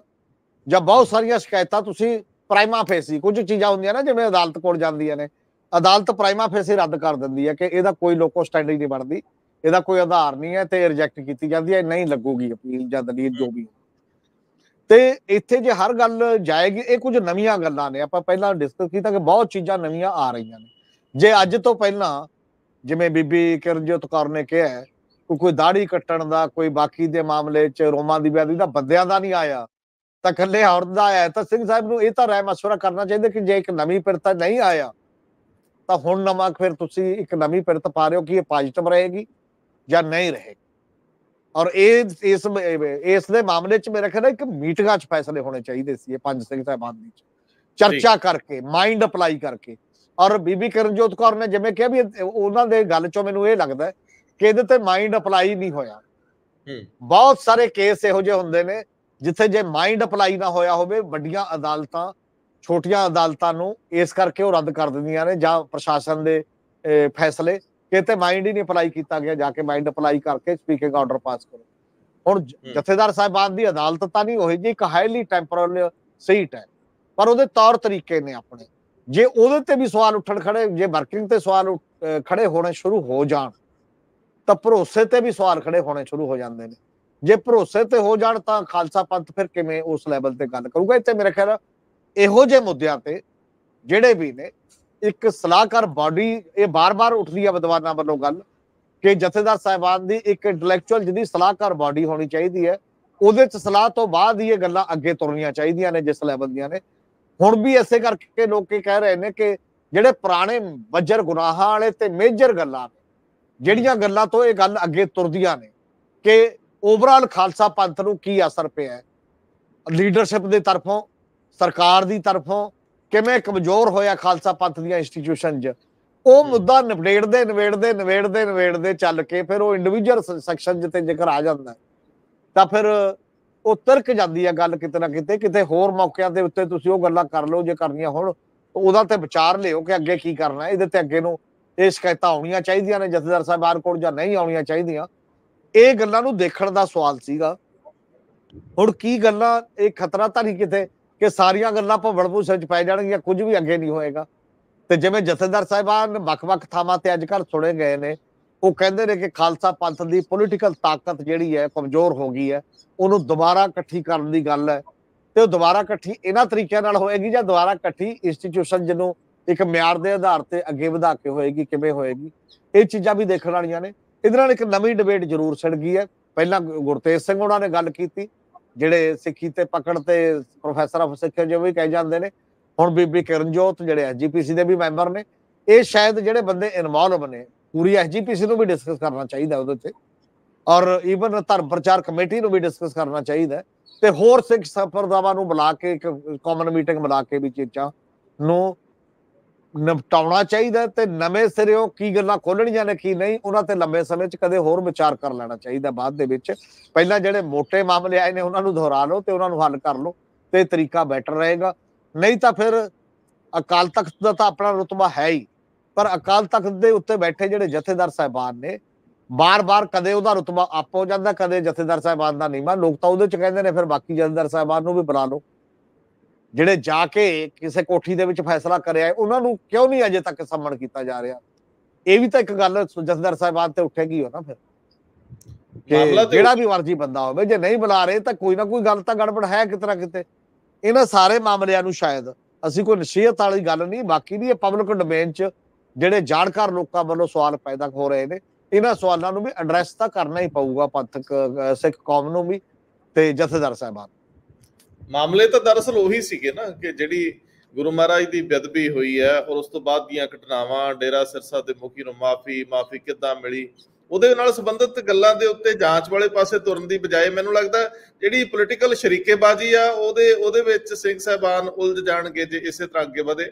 ਔਰ ਮੇਰੇ ਕੋਲੇ ਪੁਖਤਾ ਸੂਚਨਾ ਵੀ ਆ ਕਿ ਸਾਰੇ ਸਿੰਘ ਸਾਹਿਬਾਨ ਇੱਕ ਰਾਏ ਦੇ ਵੀ ਨਹੀਂ ਆ। ਇਹ ਨੋਟਿਸ ਨਿਕਲਣ ਤੋਂ ਬਾਅਦ ਜੇ ਤੁਸੀਂ ਅੰਦਰ ਝਾਕਣ ਦਾ ਯਤਨ ਕਰੋ ਤੇ ਇਹਦੇ ਉੱਤੇ ਸਾਰੇ ਸਿੰਘ ਸਬਾਨ ਇੱਕ ਰਾਏ ਨਹੀਂ ਨੇ ਔਰ ਇਹਦੇ ਤੇ ਇਤਰਾਜ਼ ਵੀ ਹੈ। ਮੈਂ ਨਾਂ ਨਹੀਂ ਲੈਣਾ ਚਾਹੂੰਗਾ ਇੱਥੇ। ਉਹਨਾਂ ਨੇ ਗੈਰ ਰਸਮੀ ਗੱਲਬਾਤ ਦੇ ਵਿੱਚ ਕੀਤਾ ਹੈ ਔਰ ਸ਼ਾਇਦ ਅਗਲੇ ਦਿਨਾਂ 'ਚ ਸਿੰਘ ਸਹਿਬਾਨ ਦੀ ਮੀਟਿੰਗ ਵਿੱਚ ਇਹ ਮਾਮਲੇ ਪੁਖਤਗੀ ਨਾਲ ਉੱਠਣਗੇ ਵੀ ਕਿ ਆਪਾਂ ਪਹਿਲੇ ਸਿੰਘ ਸਹਿਬਾਨਾਂ ਵਾਂਗ ਕਿਤੇ ਪ੍ਰਸ਼ਨਾਂ 'ਚ ਨਾ ਆ ਜਾਈਏ, ਅਸੀਂ ਵੀ ਰੌਲਿਆਂ 'ਚ ਨਾ ਆ ਜਾਈਏ, ਆਪਣਾ ਨਿਰਪੱਖਤਾ ਨਾਲ ਜਿਹੜਾ ਰੋਲ ਆ, ਉਹ ਨਿਭਾਉਣ ਦੀ ਗੱਲ ਇੱਕ ਵਾਰੀ ਫੇਰ ਹੋਊਗੀ। ਸੁਖਬੀਰ ਸਿੰਘ ਬਾਦਲ ਨੂੰ ਤਨਖਾਹੀਆ ਕਰਾਰ ਦਿੱਤੇ ਜਾਣ ਵੇਲੇ ਵੀ ਇੱਕ ਸਵਾਲ ਉੱਠਿਆ ਸੀਗਾ ਕਿ ਅੰਦਰ ਸਿੰਘ ਸਹਿਬਾਨ ਦੇ ਵਿੱਚ, ਆਪਸ ਵਿੱਚ ਵੀ ਹਲਕੀ ਜੀ ਹਲਕੀ ਜੀ ਗੱਲ ਹੋਈ ਸੀ, ਜਿਸ ਤੋਂ ਬਾਅਦ ਲਗਭਗ ਇਹ ਗੱਲ ਸਰਬਸਹਿਮਤੀ ਨਾਲ ਪ੍ਰਵਾਨ ਚੜ ਗਈ। ਨਹੀਂ ਤੇ ਇੱਕ ਵਾਰ ਸਥਿਤੀ ਥੋੜੀ ਜੀ ਔਕਵਰਡ ਬਣ ਗਈ ਸੀ। ਮੈਂ ਅਗਲੇ ਮੁੱਦੇ ਤੇ ਜਾਵਾਂ। ਅਗਲਾ ਮੁੱਦਾ ਸਰਦਾਰ ਹਮੀਰ ਸਿੰਘ ਜੀ ਇੱਕ ਦੇਸ਼, ਇੱਕ ਚੋਣ ਨਾਲ ਜੁੜਿਆ। ਉਹ ਕਿਹੜੇ ਤਿੰਨ ਬਿੱਲ ਲਿਆਉਣ ਦੀ ਤਿਆਰੀ ਹੋ ਰਹੀ ਆ ਇੱਕ ਦੇਸ਼ ਇੱਕ ਚੋਣ ਦਿਸ਼ਾ ਵੱਲ ਅੱਗੇ ਵਧਣ ਲਈ ਜੇ ਸਮਝਾ ਸਕੋ ਤਾਂ। ਬਿਲਕੁਲ ਫਿਲਹਾਲ ਇਹੀ ਗੱਲ ਆ ਰਹੀ ਹੈ ਕਿ ਤਿੰਨ ਬਿੱਲ ਆਉਣਗੇ ਇੱਕ ਬਿੱਲ ਤਾਂ ਉਹ ਆਏਗਾ ਜਿਹੜਾ ਮਿਆਦ ਪਾਰਲੀਮੈਂਟ ਔਰ ਵਿਧਾਨ ਸਭਾਵਾਂ ਦੀ ਇੱਕੋ ਸਮੇਂ ਤੈਅ ਹੋ ਜਾਣੀ ਹੈ। ਉਹ ਜਿਹਨੂੰ ਹੁਣ ਤੱਕ ਉਹ ਅਲੱਗ-ਅਲੱਗ ਤਰੀਕੇ ਦਾ ਬਿੱਲ ਹੈ ਤੇ ਜਿਹਨੂੰ ਇੱਕੋ ਕਾਮਨ ਕਰਨਾ ਔਰ ਇਸ ਮਾਮਲੇ ਦੇ ਵਿੱਚ ਉਹ ਇਹ ਕਹਿ ਰਹੇ ਨੇ ਕਿ ਪਾਰਲੀਮੈਂਟ ਸਫੀਸ਼ੀਐਂਟ ਹੈ ਪਾਰਲੀਮੈਂਟ ਵੀ ਸੋਧ ਕਰ ਸਕਦੀ ਹੈ ਜੇ ਮੈਜੋਰਿਟੀ ਉਹਦੇ ਨਾਲ ਹੋਵੇ ਤਾਂ। ਜੀ। ਰਾਜ ਸਭਾ ਔਰ ਲੋਕ ਸਭਾ ਦੇ ਵਿੱਚ। ਪਰ ਜਿਹੜਾ ਨੈਕਸਟ ਬਿੱਲ ਆਏਗਾ ਉਹ ਸਾਰੇ ਮਾਮਲੇ ਦੇ ਵਿੱਚ ਤੇ ਅੱਗੇ VOTING ਸਿਸਟੀਆਂ ਜਿਹੜੀਆਂ ਬਣਾਉਣੀਆਂ ਹੁੰਦੀਆਂ ਨੇ ਉਹ ਵੀ ਅਲੱਗ-ਅਲੱਗ ਬਣਦੀਆਂ ਨੇ। ਕਿਉਂਕਿ ਸਟੇਟ ਦਾ ਇਲੈਕਸ਼ਨ ਕਮਿਸ਼ਨ ਅਲੱਗ ਹੈ ਉਹ ਉਹ ਲੋਕਲ ਬਾਡੀ ਦੇ ਲਈ ਵੋਟਰ ਸੂਚੀਆਂ ਬਣਾਉਣ ਵਾਲੇ ਵੀ ਨੇ ਅਲੱਗ। ਜਿਹੜਾ ਅਗਲਾ ਬਿੱਲ ਜਿਹੜਾ ਕਹਿੰਦੇ ਨੇ 100 ਦਿਨ ਬਾਅਦ ਉਹ ਵੀ ਹੋਣਗੀਆਂ ਬਾਕੀ ਦੀਆਂ ਚੋਣਾਂ ਜਿਹੜੀਆਂ ਨੇ ਇਕੱਠੀਆਂ ਨੇ। ਉਹਦੇ ਤੇ 50% ਵਿਧਾਨ ਸਭਾ ਬੰਦੀ ਵੀ ਕੰਸੈਂਟ ਜ਼ਰੂਰੀ ਹੈ। ਪਾਰਲੀਮੈਂਟ ਦੀ ਮੈਜੋਰਟੀ ਪਲੱਸ 50% ਰਾਜਾਂ ਦੀ ਸਹਿਮਤੀ ਜ਼ਰੂਰੀ ਹੈ ਉਹ ਸਾਰੇ ਮਾਮਲੇ ਦੇ ਵਿੱਚ। ਤੇ ਤੀਜਾ ਬਿੱਲ ਵੀ ਇਸੇ ਤਰੀਕੇ ਦਾ ਦੱਸਿਆ ਜਾ ਰਿਹਾ ਤੇ ਜੇਕਰ ਇਹ ਆਉਂਦਾ ਤੇ ਇਹਦੇ ਚ ਟਾਈਮ ਤਾਂ ਲੱਗੂਗਾ। ਪਰ ਕੰਮ ਹੁਣ ਦੇਸ਼ ਇਸ ਪ੍ਰੋਸੈਸ ਚ ਪੈ ਜਾਊਗਾ, ਇਹਦਾ ਮਤਲਬ ਜੇ ਬੀਜੇਪੀ ਜਿਹਨੇ ਡਿਸਾਈਡ ਕਰ ਲਿਆ ਕਿ ਆਪਾਂ ਇਹ ਕਰਨਾ ਹੈ, ਤਾਂ ਵਿਧਾਨ ਸਭਾ ਬਾਅਦ ਚ ਅੱਗੇ ਤੋਂ ਅੱਗੇ ਅੱਗੇ ਤੋਂ ਅੱਗੇ ਅੱਗੇ ਤੋਂ ਅੱਗੇ ਸਾਲ 6 ਮਹੀਨੇ ਚ ਐਸੇ ਟੈਨਿਓਰ ਦੇ ਵਿੱਚ 2 ਸਾਲ ਚ ਕਿੰਨੇ ਸਮੇਂ ਚ ਵਿਧਾਨ ਸਭਾਵਾਂ ਪਾ ਲੈਂਦੀਆਂ ਨੇ 50% ਔਰ ਬੀਜੇਪੀ ਦੀਆਂ ਆਪਣੀਆਂ ਵਿਧਾਨ ਸਭਾਵਾਂ ਵੀ ਕਾਫੀ ਹੈਗੀਆਂ ਹੀ ਨੇ। ਉਹ ਤਾਂ ਪਾ ਹੀ ਦੇਣਗੀਆਂ ਜਦੋਂ ਜੇ ਉੱਪਰ ਆਰਡਰ ਆਏਗਾ ਕਿ ਆਪਾਂ ਇਸ ਲੈਵਲ ਤੇ ਕਰ ਲਈਏ। ਪਰ ਇਹ ਪਬਲਿਕ ਡੋਮੇਨ 'ਚ ਬਹੁਤ ਬੜਾ ਕਰੂਸ਼ਲ ਮੁੱਦਾ ਇਹਦੇ ਤੇ ਚਰਚਾ ਕਿੰਨੀ ਹੁੰਦੀ ਹੈ ਕਿਵੇਂ ਹੁੰਦੀ ਹੈ ਕਿਵੇਂ ਲੋਕਾਂ ਦੇ ਵਿੱਚ ਕਈ ਵਾਰ ਕਾਨੂੰਨ ਬਣ ਜਾਂਦੇ ਨੇ ਪਰ ਕਾਨੂੰਨ ਨੂੰ ਇੰਪਲੀਮੈਂਟ ਕਰਨ ਦੇ ਰਾਹ 'ਚ ਜੇ ਲੋਕਾਂ ਦੀ ਮਨੋਦਸ਼ਾ ਤਿਆਰ ਨਾ ਹੋਵੇ ਬਹੁਤੇ ਲੋਕ ਇਹਦੇ ਖਿਲਾਫ ਹੋਣ ਫਿਰ ਉਹ ਲਾਗੂ ਕਰਨੀਆਂ ਚੀਜ਼ਾਂ ਬਹੁਤ ਔਖੀਆਂ ਹੋ ਜਾਂਦੀਆਂ ਨੇ ਉਹ ਸਾਰੇ ਮਾਮਲੇ 'ਚ। ਪਹਿਲਾਂ ਥੋਰੋਲੀ ਡਿਸਕਸ਼ਨ ਕਰਨੀ ਇਹਨਾਂ ਚੀਜ਼ਾਂ ਤੇ ਬੜੀ ਜ਼ਰੂਰੀ ਹੈ। ਪਾਰਲੀਮੈਂਟ ਵੀ ਪੂਰੀ ਡਿਟੇਲ 'ਚ ਡਿਸਕਸ ਕਰੇ। ਵਿਧਾਨ ਸਭਾਵਾਂ ਵੀ ਡਿਟੇਲ 'ਚ ਕਰਨ, ਨਾ ਕੇਵਲ ਵਿਧਾਨ ਸਭਾਵਾਂ, ਸ਼ਹਿਰੀ ਸੰਸਥਾਵਾਂ ਦੀਆਂ ਬਾਡੀਜ਼ ਜਿਹੜੀਆਂ ਚੁਣੀਆਂ ਹੋਈਆਂ ਨੇ ਉੱਥੇ ਵੀ ਔਰ ਪਿੰਡੂ ਗ੍ਰਾਮ ਸਭਾਵਾਂ ਵੀ, ਕਿਉਂਕਿ ਇਹਨਾਂ ਦਾ ਅਸਰ ਹੇਠਾਂ ਤੱਕ ਜਾਣਾ, ਉੱਪਰ ਤੋਂ ਲੈ ਕੇ ਹੇਠਾਂ ਤੱਕ। ਉਹਦੇ ਕਿੰਨੇ ਟੈਕਨੀਕਲ ਪੁਆਇੰਟ ਵੀ ਨੇ, ਕਿੰਨੇ ਪ੍ਰਿੰਸੀਪਲਡ ਸਵਾਲ ਨੇ। ਕਿ ਪਾਰਲੀਮੈਂਟਰੀ ਡੈਮੋਕ੍ਰੇਸੀ ਦੇ ਵਿੱਚ ਜੇ ਇਹ ਇਵੋਲਵ ਹੋਇਆ ਹੈ ਸਟਾਰਟ ਤੋਂ ਬਾਅਦ ਸਿਸਟਮ ਤਾਂ ਇਹਨੂੰ ਤੁਸੀਂ ਇੱਕੋ ਟਮ ਕਾਨੂੰਨ ਦੇ ਨਾਲ ਨੈਚੁਰਲ ਫਲੋ ਨੂੰ ਕਿਵੇਂ ਰੋਕ ਕੇ ਬੰਨ ਕੇ ਰੱਖ ਸਕਦੇ ਹੋ ਬਾਕੀ ਦੀਆਂ ਚੀਜ਼ਾਂ ਦੇ ਵਿੱਚ? ਕਿ ਸਰਕਾਰ ਉਦੋਂ ਟੁੱਟੂ, ਜੇ ਟੁੱਟ ਗਈ ਤਾਂ ਉਹਦੇ ਵਿਚਾਲੇ ਕਿਵੇਂ ਹੋਏਗਾ? ਬਾਕੀ ਚੀਜ਼ਾਂ ਕਿਵੇਂ ਚੁਣੀਆਂ ਜਾਣਗੀਆਂ? ਬਾਕੀ ਟੈਨਰ ਨੂੰ ਕੰਟੀਨਿਊਟੀ ਚ ਮੰਨਿਆ ਜਾਏਗਾ ਜਾਂ ਉਹ ਡਿਸਕੰਟੀਨਿਊ ਇਹ ਬਹੁਤ ਸਾਰੇ ਇਸ਼ੂ ਨੇ ਤੇ ਪ੍ਰੈਕਟੀਕਲੀ ਵੀ ਕੀ ਐਡੇ ਵੱਡੇ ਦੇਸ਼ ਚ ਇੱਕੋ ਵਾਰ ਚੋਣ ਸੰਭਵ ਵੀ ਹੈ ਵੈਸੇ ਵੀ। ਜਿੱਥੇ ਤੁਸੀਂ ਦੋ ਦੋ ਰਾਜਾਂ ਦੀਆਂ ਚੋਣਾਂ ਵੀ ਨਹੀਂ ਕਰਾ ਸਕਦੇ ਇੱਕੋ ਵਾਰ ਦੇ ਵਿੱਚ। ਇੱਕ ਇੱਕ ਰਾਜ ਨੂੰ ਨਹੀਂ ਕਰਾ ਸਕਦੇ। ਇੱਕ ਪੰਚਾਇਤ ਤੇ ਜ਼ਿਲ੍ਹਾ ਪ੍ਰੀਸ਼ਦ ਬਲਾਕ ਸੰਮਤੀ ਨਹੀਂ ਕਰਾ ਸਕਦੇ। ਤੇ ਸਾਰੀਆਂ ਚੋਣਾਂ ਕਿਵੇਂ ਹੋਣਗੀਆਂ ਪ੍ਰੈਕਟੀਕੈਬਿਲਟੀ ਦੇ? ਇਹ ਬਹੁਤ ਬੜੇ ਇਹਦੇ ਚ ਲੀਗਲ ਸਵਾਲ ਵੀ ਨੇ ਕਨਸਟੀਟਿਊਸ਼ਨ ਸਵਾਲ ਵੀ ਨੇ ਤੇ ਟੈਕਨੀਕਲ ਸਵਾਲ ਵੀ ਨੇ। ਇਹਦੇ ਤੇ ਥੋਰੋ ਡਿਬੇਟ ਦੀ ਲੋੜ ਹੈ ਵੈਸੇ ਤਾਂ। ਧੱਕੇ ਦੀ ਗੱਲ ਹੁੰਦੀ ਹੈ ਕਿ ਸਾਡੇ ਮਨ ਚ ਆ ਗਿਆ ਇਹ ਠੀਕ ਹੈ। ਉਹ ਹੋਰ ਤਰ੍ਹਾਂ ਹੁੰਦਾ ਡੈਮੋਕ੍ਰੈਟਿਕ ਕੰਟਰੀ 'ਚ ਲੋਕਾਂ ਦੀ ਸਹਿਮਤੀ ਸਭ ਤੋਂ ਵੱਧ ਜ਼ਰੂਰੀ ਹੁੰਦੀ ਇੱਕ ਵਾਰ ਦਾ ਮਤਲਬ ਮੈਂ ਸਮਝਣ ਦਾ ਯਤਨ ਵੀ ਕੀਤਾ ਸੀ ਕਿ ਇੱਕ ਵਾਰ ਦਾ ਮਤਲਬ 4 ਮਹੀਨਿਆਂ 'ਚ ਪ੍ਰੋਸੈਸ ਸਿਰੇ ਚੜੂਗਾ। ਜੇ ਇਸ ਤਰ੍ਹਾਂ ਹੁੰਦਾ ਹੈ ਤਾਂ ਲਗਭਗ ਪੜਾਦਰ ਪੜਾ ਇਹ ਚੋਣਾਂ ਹੋਣਗੀਆਂ। ਲੇਕਿਨ ਪੂਰੇ 5 ਸਾਲਾਂ 'ਚ ਜਿਹੜੀਆਂ ਚੋਣਾਂ ਹੁੰਦੀਆਂ ਹੀ ਰਹਿੰਦੀਆਂ, ਬਹਾਨਾ ਤਾਂ ਇਹੀ ਲਾਇਆ ਜਾ ਰਿਹਾ ਨਾ ਕਿ ਉਹ ਤੋਂ ਬਚਿਆ ਜਾਵੇ, ਕੰਮਕਾਜ ਪ੍ਰਭਾਵਿਤ ਹੁੰਦੇ ਆ। ਪਰ ਇਹ ਵਨਸਵੰਤਾ ਜਿਸ ਤਰ੍ਹਾਂ ਦੀ ਹੈ, ਉਹਦੇ ਵਿੱਚ ਕਿੰਨੀ ਕੁ ਦੇਰ ਤੁਸੀਂ ਇਹਨੂੰ ਚਲਾ ਲੋਗੇ ਬਦਲਵੇਂ ਪ੍ਰਬੰਧ ਇਸ ਤੋਂ ਬਾਅਦ ਕੀ ਹੋਣਗੇ? ਫਿਰ ਕੋਈ ਦੋ ਟਰਮਾਂ ਤੋਂ ਬਾਅਦ ਇਹੀ ਜਿਹੀ ਸਥਿਤੀ ਜੇ ਬਣਨੀ ਆ ਤਾਂ ਐਡਾ ਵੱਡਾ ਤਾਮਝਾਮ ਕਰਨ ਦੀ ਲੋੜ ਕੀ ਹੈ? ਮੈਂ ਹਮੀਰ ਸਿੰਘ ਜੀ, ਅਗਲੇ ਮੁੱਦੇ ਤੇ ਤੁਸੀਂ ਮੈਨੂੰ ਲੱਗਦਾ ਕੁਝ ਕਹਿਣਾ ਚਾਹੁੰਦੇ ਹੋ ਜੀ। ਇਹ ਮੈਂ ਇਹੀ ਕਹਿੰਦਾ ਵੀ ਜੇ ਤਾਂ ਲੋਕ ਸੰਤੁਸ਼ਟ ਨੇ ਸਥਿਰ ਸਰਕਾਰਾਂ ਤੋਂ। ਪਹਿਲਾਂ ਕਾਂਗਰਸ ਲੰਮਾ ਸਮਾਂ ਸਥਿਰ ਰਹੀ ਹੈ, ਕੋਈ ਚੈਲੰਜ ਨਹੀਂ ਸੀ ਕਾਂਗਰਸ ਨੂੰ 35 40 ਸਾਲ। ਇੱਕੋ ਸਰਕਾਰ ਰਹੀ ਹੈ ਨਾ ਉੱਪਰ ਵੀ। ਪਹਿਲੇ ਕਈ 15 18 ਸਾਲ ਤਾਂ ਸਟੇਟ ਵੀ ਉਹਦੇ ਕੋਲ ਹੀ ਰਹੀ ਹੈ। ਹੁਣ ਬੀਜੇਪੀ ਦੀ ਸਰਕਾਰ ਸਥਿਰ ਹੈ, ਤੀਜੀ ਸਰਕਾਰ ਹੈ ਨੈਸ਼ਨਲ ਲੈਵਲ ਦੇ ਉੱਤੇ। ਲੋਕ ਤਸੱਲੀ ਚ ਨੇ ਬੈਟਰ ਹੋ ਗਿਆ ਕੰਮ। ਜੇ ਇਹੀ ਸਥਿਰਤਾ ਕੰਮ ਦਿੰਦੀ ਹੋਵੇ ਇਹਨੇ ਬਹੁਤ ਵਧੀਆ ਕੰਮ ਕੀਤਾ ਹੋਵੇ ਬੇਰੁਜ਼ਗਾਰੀ 45 ਸਾਲਾਂ ਦੀ ਸਭ ਤੋਂ ਜ਼ਿਆਦਾ ਜੋ ਕਾਰੋਬਾਰੀਆਂ ਦਾ ਹਾਲ ਹੈ ਉਹ ਦੇਖ ਲੈਣ ਉਹ ਕਹਿੰਦੇ ਅਸੀਂ ਮਰੇ ਚੱਲੇ ਜਾ ਰਹੇ ਆ ਕਿਸਾਨ ਤੇ ਮਜ਼ਦੂਰ ਕਹਿੰਦਾ ਸਾਡਾ ਪੱਠਾ ਬੈਠ ਗਿਆ। ਤੇ ਜੇ ਚੀਜ਼ਾਂ ਉਵੇਂ ਵਿਕਰਦੀਆਂ ਨੇ ਫਿਰ ਤਾਂ ਠੀਕ ਹੈ ਲੋਕ ਆਪੀ ਤਾੜੀ ਵਜਾ ਦਿੰਦੇ। ਰੌਲਾ ਉਹੀ ਜੀ ਸਥਿਰਤਾ ਦਾ ਨਹੀਂ ਕਿ ਇੱਕੋ ਪਾਰਟੀ ਦੇ ਰੌਲਾ ਸਥਿਰਤਾ ਦਾ ਇਹ ਹੁੰਦਾ ਵੀ ਅਨਾਰਕੀ ਨਾ ਹੋ ਜੇ। ਵੱਖ-ਵੱਖ ਥਾਵਾਂ ਦੇ ਉੱਤੇ ਜੇ ਪਾਰਟੀਆਂ ਇਹ ਕਹਿਣ ਵੀ ਜਿਹਨੂੰ ਲੋਕਾਂ ਨੇ ਵੋਟ ਪਾਤੀ ਉਹ ਠੀਕ ਹੈ। ਸਰਕਾਰਾਂ ਤਾਂ ਤੁਸੀਂ ਤੋੜਦੇ ਹੋ ਪਹਿਲਾਂ 350 ਲਾ ਕੇ ਕਾਂਗਰਸ ਤੋੜਦੀ ਰਹੀ। ਹੁਣ ਤੁਸੀਂ ਮੱਧ ਪ੍ਰਦੇਸ਼ ਤੋਂ ਲੈ ਕੇ ਮਹਾਰਾਸ਼ਟਰ ਤੱਕ, ਅਰੁਣਾਚਲ ਪ੍ਰਦੇਸ਼ ਤੋਂ, ਗੋਆ ਤੋਂ ਲੈ ਕੇ ਨਾਰਥ ਈਸਟ ਤੱਕ, ਹੁਣ ਤੁਸੀਂ ਤੋੜਦੇ ਹੋ ਤੋੜ ਕੇ ਆਪਣੀਆਂ ਬਣਾਉਨੇ ਹੋ ਤਾਂ 56 ਚਾਹੇ ਨਹੀਂ ਲਾਈ, ਉਧਰੋਂ ਬੰਦੇ ਖਰੀਦੇ ਇੱਧਰ ਚਲੇ ਗਏ, ਇੱਧਰ ਖਰੀਦੇ ਇਹ ਕੌਣ ਸਥਿਰਤਾ ਨੂੰ ਭੰਗ ਕਰ ਰਿਹਾ? ਇਹ ਵੀ ਤਾਂ ਸਵਾਲ ਨੇ ਨਾ, ਪੋਲਿਟਿਕ, ਪੋਲਿਟਿਕਸ ਦੇ ਸਵਾਲ ਨੇ। ਹਾਂ, ਇਹ ਬਿਲਕੁਲ ਠੀਕ ਤੁਹਾਡੀ ਗੱਲ। ਆਪਾਂ ਲਾਸਟ ਮੁੱਦੇ ਤੇ ਚੱਲਦੇ ਆਂ ਮੁੱਖ ਮੰਤਰੀ ਸਾਹਿਬ ਆਉਂਦੇ ਹੀ ਹਸਪੀਟਲ ਚੋਂ ਸਰਗਰਮ ਹੋ ਗਏ। ਕੱਲ ਉਹਨਾਂ ਪ੍ਰੋਕਿਉਰਮੈਂਟ ਨੂੰ ਲੈ ਕੇ ਇੱਕ ਲੰਬੀ ਚੌੜੀ ਮੀਟਿੰਗ ਕੀਤੀ, ਹਦਾਇਤਾਂ ਜਾਰੀ ਕੀਤੀਆਂ ਡੀਸੀਜ਼ ਨੂੰ ਕਿਹਾ, ਜ਼ਿੰਮੇਵਾਰੀ ਤੁਹਾਡੀ ਹੋਊਗੀ, ਫੀਲਡ ਚਲੇ ਜਾਓ, ਕਿਸਾਨਾਂ ਨੂੰ ਮੁਸ਼ਕਲ ਨਹੀਂ ਆਉਣੀ ਚਾਹੀਦੀ। ਸਟੇਟ ਦੇ ਚੀਫ ਸੈਕਟਰੀ ਅਨੁਰਾਗ ਵਰਮਾ ਬੜੇ ਐਕਟਿਵ ਸੀ। ਉਹ ਪਿਛਲੇ ਕਈ ਦਿਨਾਂ ਤੋਂ ਲਗਾਤਾਰ ਲੱਗੇ ਹੀ ਇਸੇ ਕੰਮ 'ਚ ਹੋਏ। ਕੱਲ ਮੈਂ ਸਮਝਣ ਦਾ ਯਤਨ ਕਰ ਰਿਹਾ ਸੀਗਾ ਔਰ ਉਹ ਕਹਿੰਦੇ ਕਿ ਅਸੀਂ ਕਾਫੀ ਪ੍ਰਬੰਧ ਮੁਕੰਮਲ ਕਰ ਲਏ ਨੇ ਔਰ ਕੋਸ਼ਿਸ਼ ਹੈ ਕਿ ਬਿਲਕੁਲ ਵੀ ਇਸ ਮਾਮਲੇ 'ਚ ਘੱਟੋ ਘੱਟ ਜ਼ਿਆਦਾ ਰੌਲੇ ਰੱਪੇ ਨਾ ਪੈਣ, ਪਰ ਗਰਾਊਂਡ ਸਥਿਤੀ ਕੁਝ ਹੋਰ ਵੀ ਹੈ। ਸਟੋਰੇਜ ਦੀ ਸਮੱਸਿਆ ਹੈ ਵੀ ਕਿਵੇਂ ਤੁਸੀਂ ਗਡਾਊਨ ਖਾਲੀ ਕਰੋਗੇ, ਕਿਵੇਂ ਹੋਊਗਾ ਸਾਰਾ ਇਹ ਸਭ ਦੇਖਿਆ ਜਾ ਰਿਹਾ। ਮੁੱਖ ਮੰਤਰੀ ਦੀ ਸਰਗਰਮੀ ਕਾਫੀ ਹੈ। ਸਹਮੀਰ ਸਿੰਘ ਜੀ, ਅੱਜ ਵੀ ਉਹਨਾਂ ਦੀਆਂ ਮੀਟਿੰਗਸ ਨੇ ਲਗਾਤਾਰ। ਕੱਲ ਵੀ ਉਹ ਉੱਥੋਂ ਨਿਕਲੇ ਜਦੋਂ ਤੇ ਕੈਪਸ਼ਾ ਪਾ ਕੇ ਆਏ, ਬਾਅਦ ਚ ਆਉਂਦਿਆਂ ਉਹਨਾਂ ਦਸਤਾਰ ਸਜਾਈ ਤੇ ਉਹ ਮੀਟਿੰਗ ਹਾਲ 'ਚ ਚਲੇ ਗਏ ਔਰ ਜੰਬੋ ਮੀਟਿੰਗ ਸੀ, ਕਾਫੀ ਲੋਕ ਕੁਝ ਸ਼ਾਮਲ ਸੀ, ਦੋ ਮੰਤਰੀ ਸ਼ਾਮਲ ਸੀਗੇ ਔਰ ਅਧਿਕਾਰੀਆਂ ਦੀ ਇੱਕ ਲੰਬੀ ਚੌੜੀ ਟੀਮ ਵੀ ਸ਼ਾਮਲ ਸੀ। ਹੁਣ ਜੇ ਮੈਂ ਇਹਦੇ ਨਾਲ ਨਾਲ ਦੂਜਾ ਮਾਮਲਾ ਵੀ ਸਮਝ ਲਾਂ ਕਿ ਪੰਜਾਬ 'ਚ ਪੰਚਾਇਤੀ ਚੋਣਾਂ ਵੀ ਆ ਔਰ ਰਾਜਕਮਲ ਚੌਧਰੀ ਜਿਹੜੇ ਕਿ ਸਟੇਟ ਦੇ ਚੋਣ ਕਮਿਸ਼ਨਰ ਨੇ, ਉਹਨਾਂ ਨੇ ਕਿਹਾ ਕਿ ਹਲਫੀਆ ਬਿਆਨ ਦੇ ਕੇ ਵੀ ਭਰੀ ਜਾ ਸਕਦੀ, ਨਾਮਜ਼ਦਗੀ ਜੇ ਤੁਹਾਨੂੰ ਨੋ ਡਿਊ ਕਿਤੇ ਨਹੀਂ ਮਿਲ ਰਿਹਾ ਤਾਂ ਤੁਸੀਂ ਹਲਫੀਆ ਬਿਆਨ ਦੇ ਦਿਓ। ਮੈਂ ਇਹ ਮਾਮਲੇ ਨੂੰ ਵੀ ਕਿਵੇਂ ਸਮਝਾਂ? ਕਿਉਂਕਿ ਪਿੰਡਾਂ 'ਚ ਰੌਲੇ ਬੜੇ ਵੱਧ ਗਏ ਨੇ। ਕਿੰਨੂੰ ਦੇਣਾ ਨੋ ਡਿਊ ਕਿੰਨੂੰ ਨਹੀਂ ਦੇਣਾ, ਇਹ ਸੱਤਾਧਾਰੀਆਂ ਦਾ ਜਿਹੜਾ ਉੱਥੇ ਸੂਬੇਦਾਰ ਹੈ, ਉਹ ਫੈਸਲਾ ਕਰ ਰਿਹਾ ਤੇ ਲੋਕਾਂ ਦੀ ਸ਼ਮੂਲੀਅਤ ਜਿਹੜੀ ਹੈ ਜਿਹੜੇ ਸਰਗਰਮ ਲੋਕ ਇਹਦੇ ਚ ਆਉਣਾ ਵੀ ਚਾਹੁੰਦੇ ਆ ਬਹੁਤ ਸਾਰਿਆਂ ਨੂੰ ਸ਼ਾਇਦ ਮੌਕਾ ਵੀ ਨਾ ਮਿਲੇ ਇਲੈਕਸ਼ਨ ਲੜਨ ਦਾ ਜੀ। ਇਹ ਦੋਨੋਂ ਬਹੁਤ ਕਰੂਸ਼ਲ ਮਾਮਲੇ ਨੇ ਇੱਕ ਤਾਂ ਦੋਨੋਂ ਇਕੱਠੇ ਆ ਗਏ ਨੇ ਝੋਨੇ ਦੀ ਜਿਹੜੀ ਖਰੀਦ ਹੈ। ਤੇ ਅਜੇ ਵੀ ਮਾਝੇ ਦੇ ਵਿੱਚ ਕਿੰਨਾ ਡਿਗਰੀ ਮੰਡੀਕਰਨ ਮੋੜ ਚੱਕ ਕੇ ਦਿਖਾ ਦੇ ਮੰਡੀ ਬੋਰਡ ਕੋਲ ਰਜਿਸਟਰਡ ਹੁੰਦਾ। 1509 ਜਿਹੜੀ 3600 ਨੂੰ ਵਿਕਦੀ ਰਹੀ ਹੈ ਉਹ 2200 ਨੂੰ ਵਿਕ ਰਹੀ ਹੈ ਪੰਜਾਬ ਦੀਆਂ ਮੰਡੀਆਂ ਦੇ ਵਿੱਚ। ਜੇ। ਇੰਨਾ 30-30% ਘਾਟਾ ਪਊਗਾ ਫਾਰਮਰ ਨੂੰ ਜਿਹਨੇ ਸਾਰਿਆਂ 6 ਮਹੀਨੇ ਲਾਏ ਨੇ ਤਾਂ ਉਹਦੇ ਚ ਬਹੁਤ ਸਰਗਰਮੀ ਦਾ ਰੋਲ ਗਵਰਨਮੈਂਟਾਂ ਦਾ ਹੋਣਾ ਚਾਹੀਦਾ ਤੇ ਇਹ ਕਿਉਂ ਨਹੀਂ ਹੈ ਇਹ ਸਮਝ ਨਹੀਂ ਆ ਰਹੀ। ਤੇ ਕਿਸਾਨਾਂ 'ਚ ਗੱਲ ਹੈ ਕਿਉਂਕਿ ਪਹਿਲਾਂ ਚੀਫ ਮਿਨਿਸਟਰ ਨੇ ਬਿਆਨ ਦਿੱਤਾ ਸੀ ਸ਼ੁਰੂ 'ਚ ਪੂਸਾ ਨਾ ਲਾਓ ਜ਼ਿਆਦਾ ਦਿਨ ਲੈਂਦੀ ਹੈ। ਉਹ ਕਹਿੰਦੇ ਸਾਨੂੰ ਹੇਠਲੇ ਅਧਿਕਾਰੀ ਕਹਿ ਰਹੇ ਨੇ ਖਰੀਦੀ ਉਹ ਨਹੀਂ ਜਾਣੀ। ਹੁਣ ਉਹ ਕਿੰਨਾ ਰਕਬਾ ਲੱਗਿਆ ਜੇ ਐ ਅਧਿਕਾਰੀ ਕਹਿੰਦੇ ਨੇ ਖਰੀਦੀ ਨਹੀਂ ਜਾਣੀ ਤਾਂ ਪੰਜਾਬ ਦੇ ਵਿੱਚ ਕੀ ਬਣੂਗਾ? ਇਹ ਇੱਕ ਸਵਾਲ ਪੈਦਾ ਹੋ ਰਿਹਾ ਪੰਜਾਬ ਦੇ ਉੱਥੇ ਕਿਉਂਕਿ ਉਹ ਝਾੜ ਸਭ ਤੋਂ ਜ਼ਿਆਦਾ ਦਿੰਦੀ ਹੈ ਤੇ ਉਹਦੀ ਸਟਰੋਂਗ ਹੈ ਤੇ ਮਰਦੀ ਘੱਟ ਹੈ ਤੇ ਉਸ ਲੈਵਲ ਦੇ ਉੱਤੇ ਇਸ ਤਰੀਕੇ ਕਿਸਾਨ ਉਹਨੂੰ ਬੀਜ ਰਹੇ ਨੇ। ਉਹਨਾਂ ਚਿਰ ਜਦ ਤੁਸੀਂ ਅਲਟਰਨੇਟਿਵ ਦਿਓਗੇ ਤਾਂ ਉਦੋਂ ਵੱਧ ਹੀ ਗੱਲ ਤੇ ਦੂਜੀ ਗੱਲ ਇਹ ਵੀ ਹੈ ਇੱਕ ਕਿ ਹੁਣ 1 ਤਰੀਕ ਤੋਂ ਹਜੇ ਮੰਡੀਆਂ ਅਫੀਸ਼ੀਅਲੀ ਖਰੀਦ ਹੋਣੀ ਹੈ। ਹੁਣ ਤੱਕ ਤਾਂ ਅਫੀਸ਼ੀਅਲ ਖਰੀਦ ਨਹੀਂ ਹੈ। ਤੇ ਇਦੋਂ ਪਹਿਲਾਂ ਦੋ ਵਾਰ ਇਹ ਹੋਇਆ ਕਿ ਇੱਕ ਵਾਰ 27 ਤਰੀਕ ਤੋਂ ਇੱਕ ਵਾਰ 28 ਤਰੀਕ ਤੋਂ ਪੰਜਾਬ ਤੇ ਹਰਿਆਣਾ ਨੇ ਗਵਰਨਮੈਂਟ ਆਫ ਇੰਡੀਆ ਨੂੰ ਕਹਿ ਕੇ ਪਹਿਲਾਂ ਖਰੀਦ ਕੀਤੀ ਸੀ ਕਿ ਸਾਡੇ ਝੋਨਾ ਪਹਿਲਾਂ ਆਉਣ ਲੱਗ ਗਿਆ ਤੇ ਤੁਸੀਂ ਪਹਿਲਾਂ ਕਰ ਦਿਓ ਐਤਕੀ ਇਹੋ ਜਿਹਾ ਐਫਰਟ ਨਹੀਂ ਹੋਇਆ। ਤੇ ਕੁਝ ਮੰਡੀਆਂ 'ਚ ਝੋਨਾ ਆਇਆ ਹੋਇਆ ਤੇ ਲਗਾਤਾਰ ਆ ਰਿਹਾ ਤੇ ਹੁਣ ਜ਼ੋਰ ਪੈ ਜਾਣਾ ਇਸੇ ਹਫ਼ਤੇ ਦੇ ਵਿੱਚ ਤੁਹਾਡੇ ਸਾਹਮਣੇ ਆ ਪੰਜਾਬ 'ਚ। ਇਹ ਨਜਿੱਠਣਗੇ ਕਿਵੇਂ? ਚਲੋ ਉਹ ਅਲੱਗ ਗੱਲ ਹੈ। ਜਿਹੜਾ ਚੌਲਾਂ ਦਾ ਸਵਾਲ ਹੈ, ਉਹ 23 ਤਰੀਕ ਦੀ ਜਿਹੜੀ ਚੀਫ ਸੈਕਟਰੀ ਦੀ ਆਪਣੀ ਚਿੱਠੀ ਘੁੰਮ ਰਹੀ ਹੈ, ਉਹ ਇਹ ਦੱਸ ਰਹੀ ਹੈ ਕਿ ਅਜੇ ਤੱਕ 6 ਲੱਖ ਟਨ ਹੀ ਚੱਕਿਆ ਗਿਆ ਹੈ। 20 ਲੱਖ ਟਨ ਦੀ ਜ਼ਰੂਰਤ ਸੀ ਲਿਫਟਿੰਗ ਦੀ 16 ਲੱਖ ਟਨ ਮਤਲਬ ਜੇ ਆਪਾਂ ਉਸ ਤੋਂ ਬਾਅਦ ਕਹਿੰਦੇ ਆ ਤਾਂ ਇਹਦਾ ਮਤਲਬ 14 ਲੱਖ ਟਨ ਅਜੇ ਵੀ ਪਿਆ ਗਡਾਊਨਾਂ ਦੇ ਵਿੱਚ। ਤੇ ਉਹ ਤਾਂ ਹੁਣ ਜਿਹੜਾ ਮੰਡੀ ਚੋਂ 4 ਮਹੀਨੇ ਦਾ ਜੇਕਰ 3-4 ਮਹੀਨੇ ਗਵਰਨਮੈਂਟਾਂ ਦਾ ਇੱਕ ਸਿਸਟਮ ਹੈ ਵੀ ਇੰਨੇ ਸਮੇਂ ਚ ਅਸੀਂ ਲੱਗ ਜਾਵਾਂਗੇ ਕੀ ਲਿਫਟਿੰਗ 4 ਮਹੀਨੇ ਤੱਕ ਪਈ ਰਹੂਗੀ ਮੰਡੀਆਂ ਦੇ ਵਿੱਚ? ਜੇ ਮੰਡੀਆਂ ਦੇ ਵਿੱਚ ਨਹੀਂ ਹੈ ਤਾਂ ਕਿਹੜੇ ਸੈਲਰਾਂ 'ਚ ਜਾਏਗੀ ਉੱਥੋਂ ਮਾਲ ਚੱਕੇ ਬਿਨਾ? ਜੇ ਉਹਨਾਂ ਸੈਲਰਾਂ 'ਚ ਨਹੀਂ ਹੈ ਤਾਂ ਕਿੱਥੇ ਜਾਊਗੀ?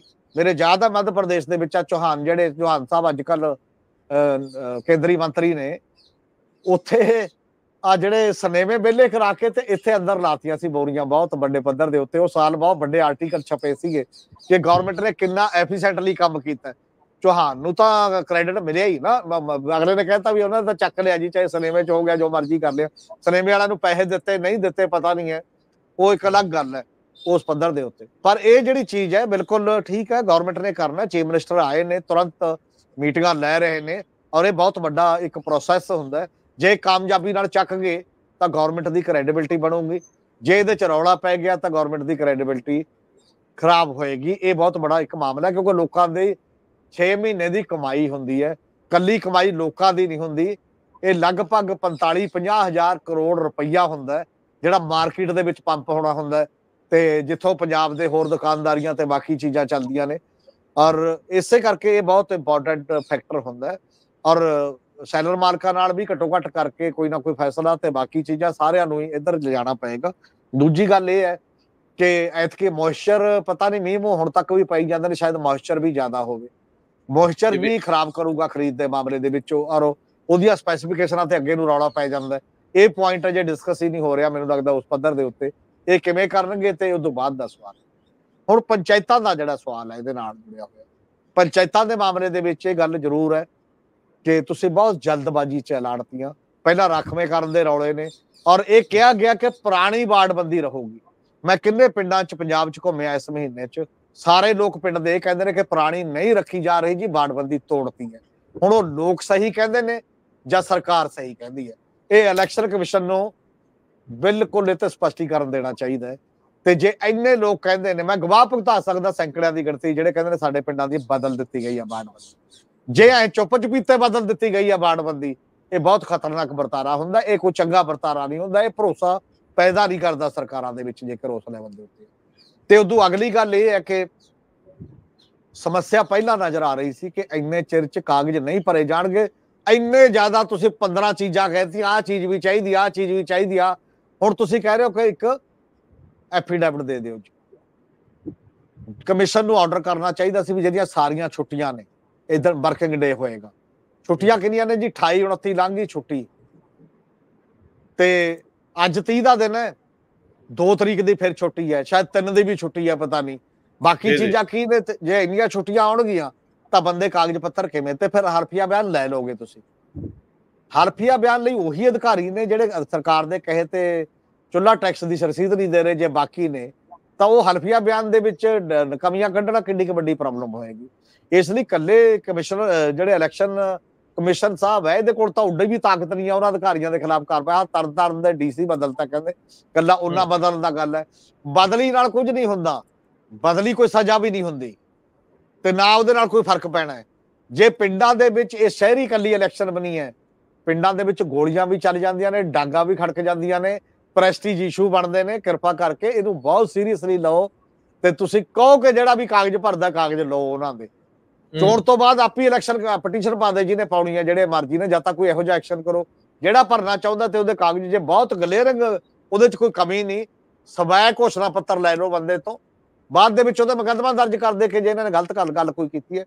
ਪੰਜਾਬ ਦੀ ਸਰਕਾਰ ਨੇ ਹਲਫੀਆ ਬਿਆਨ ਖਤਮ ਕੀਤੇ ਹੋਏ ਨੇ ਬਹੁਤ ਸਾਰੇ ਮਾਮਲਿਆਂ ਦੇ ਵਿੱਚ ਇਦੋਂ ਪਹਿਲਾਂ ਤਾਂ ਇੱਥੇ ਵੀ ਬੰਦੇ ਤੇ ਯਕੀਨ ਕਰੋ, ਤੁਹਾਡਾ ਸਿਟੀਜ਼ਨ ਹੈ, ਉਹਨੂੰ ਤੁਸੀਂ ਸਰਪੰਚ ਬਣਾਉਣਾ ਹੈ, ਪੰਚ ਬਣਾਉਣਾ ਹੈ। ਲੋਕਾਂ ਦਾ ਨੁਮਾਇੰਦਾ ਬਣਾਉਣਾ ਹੈ।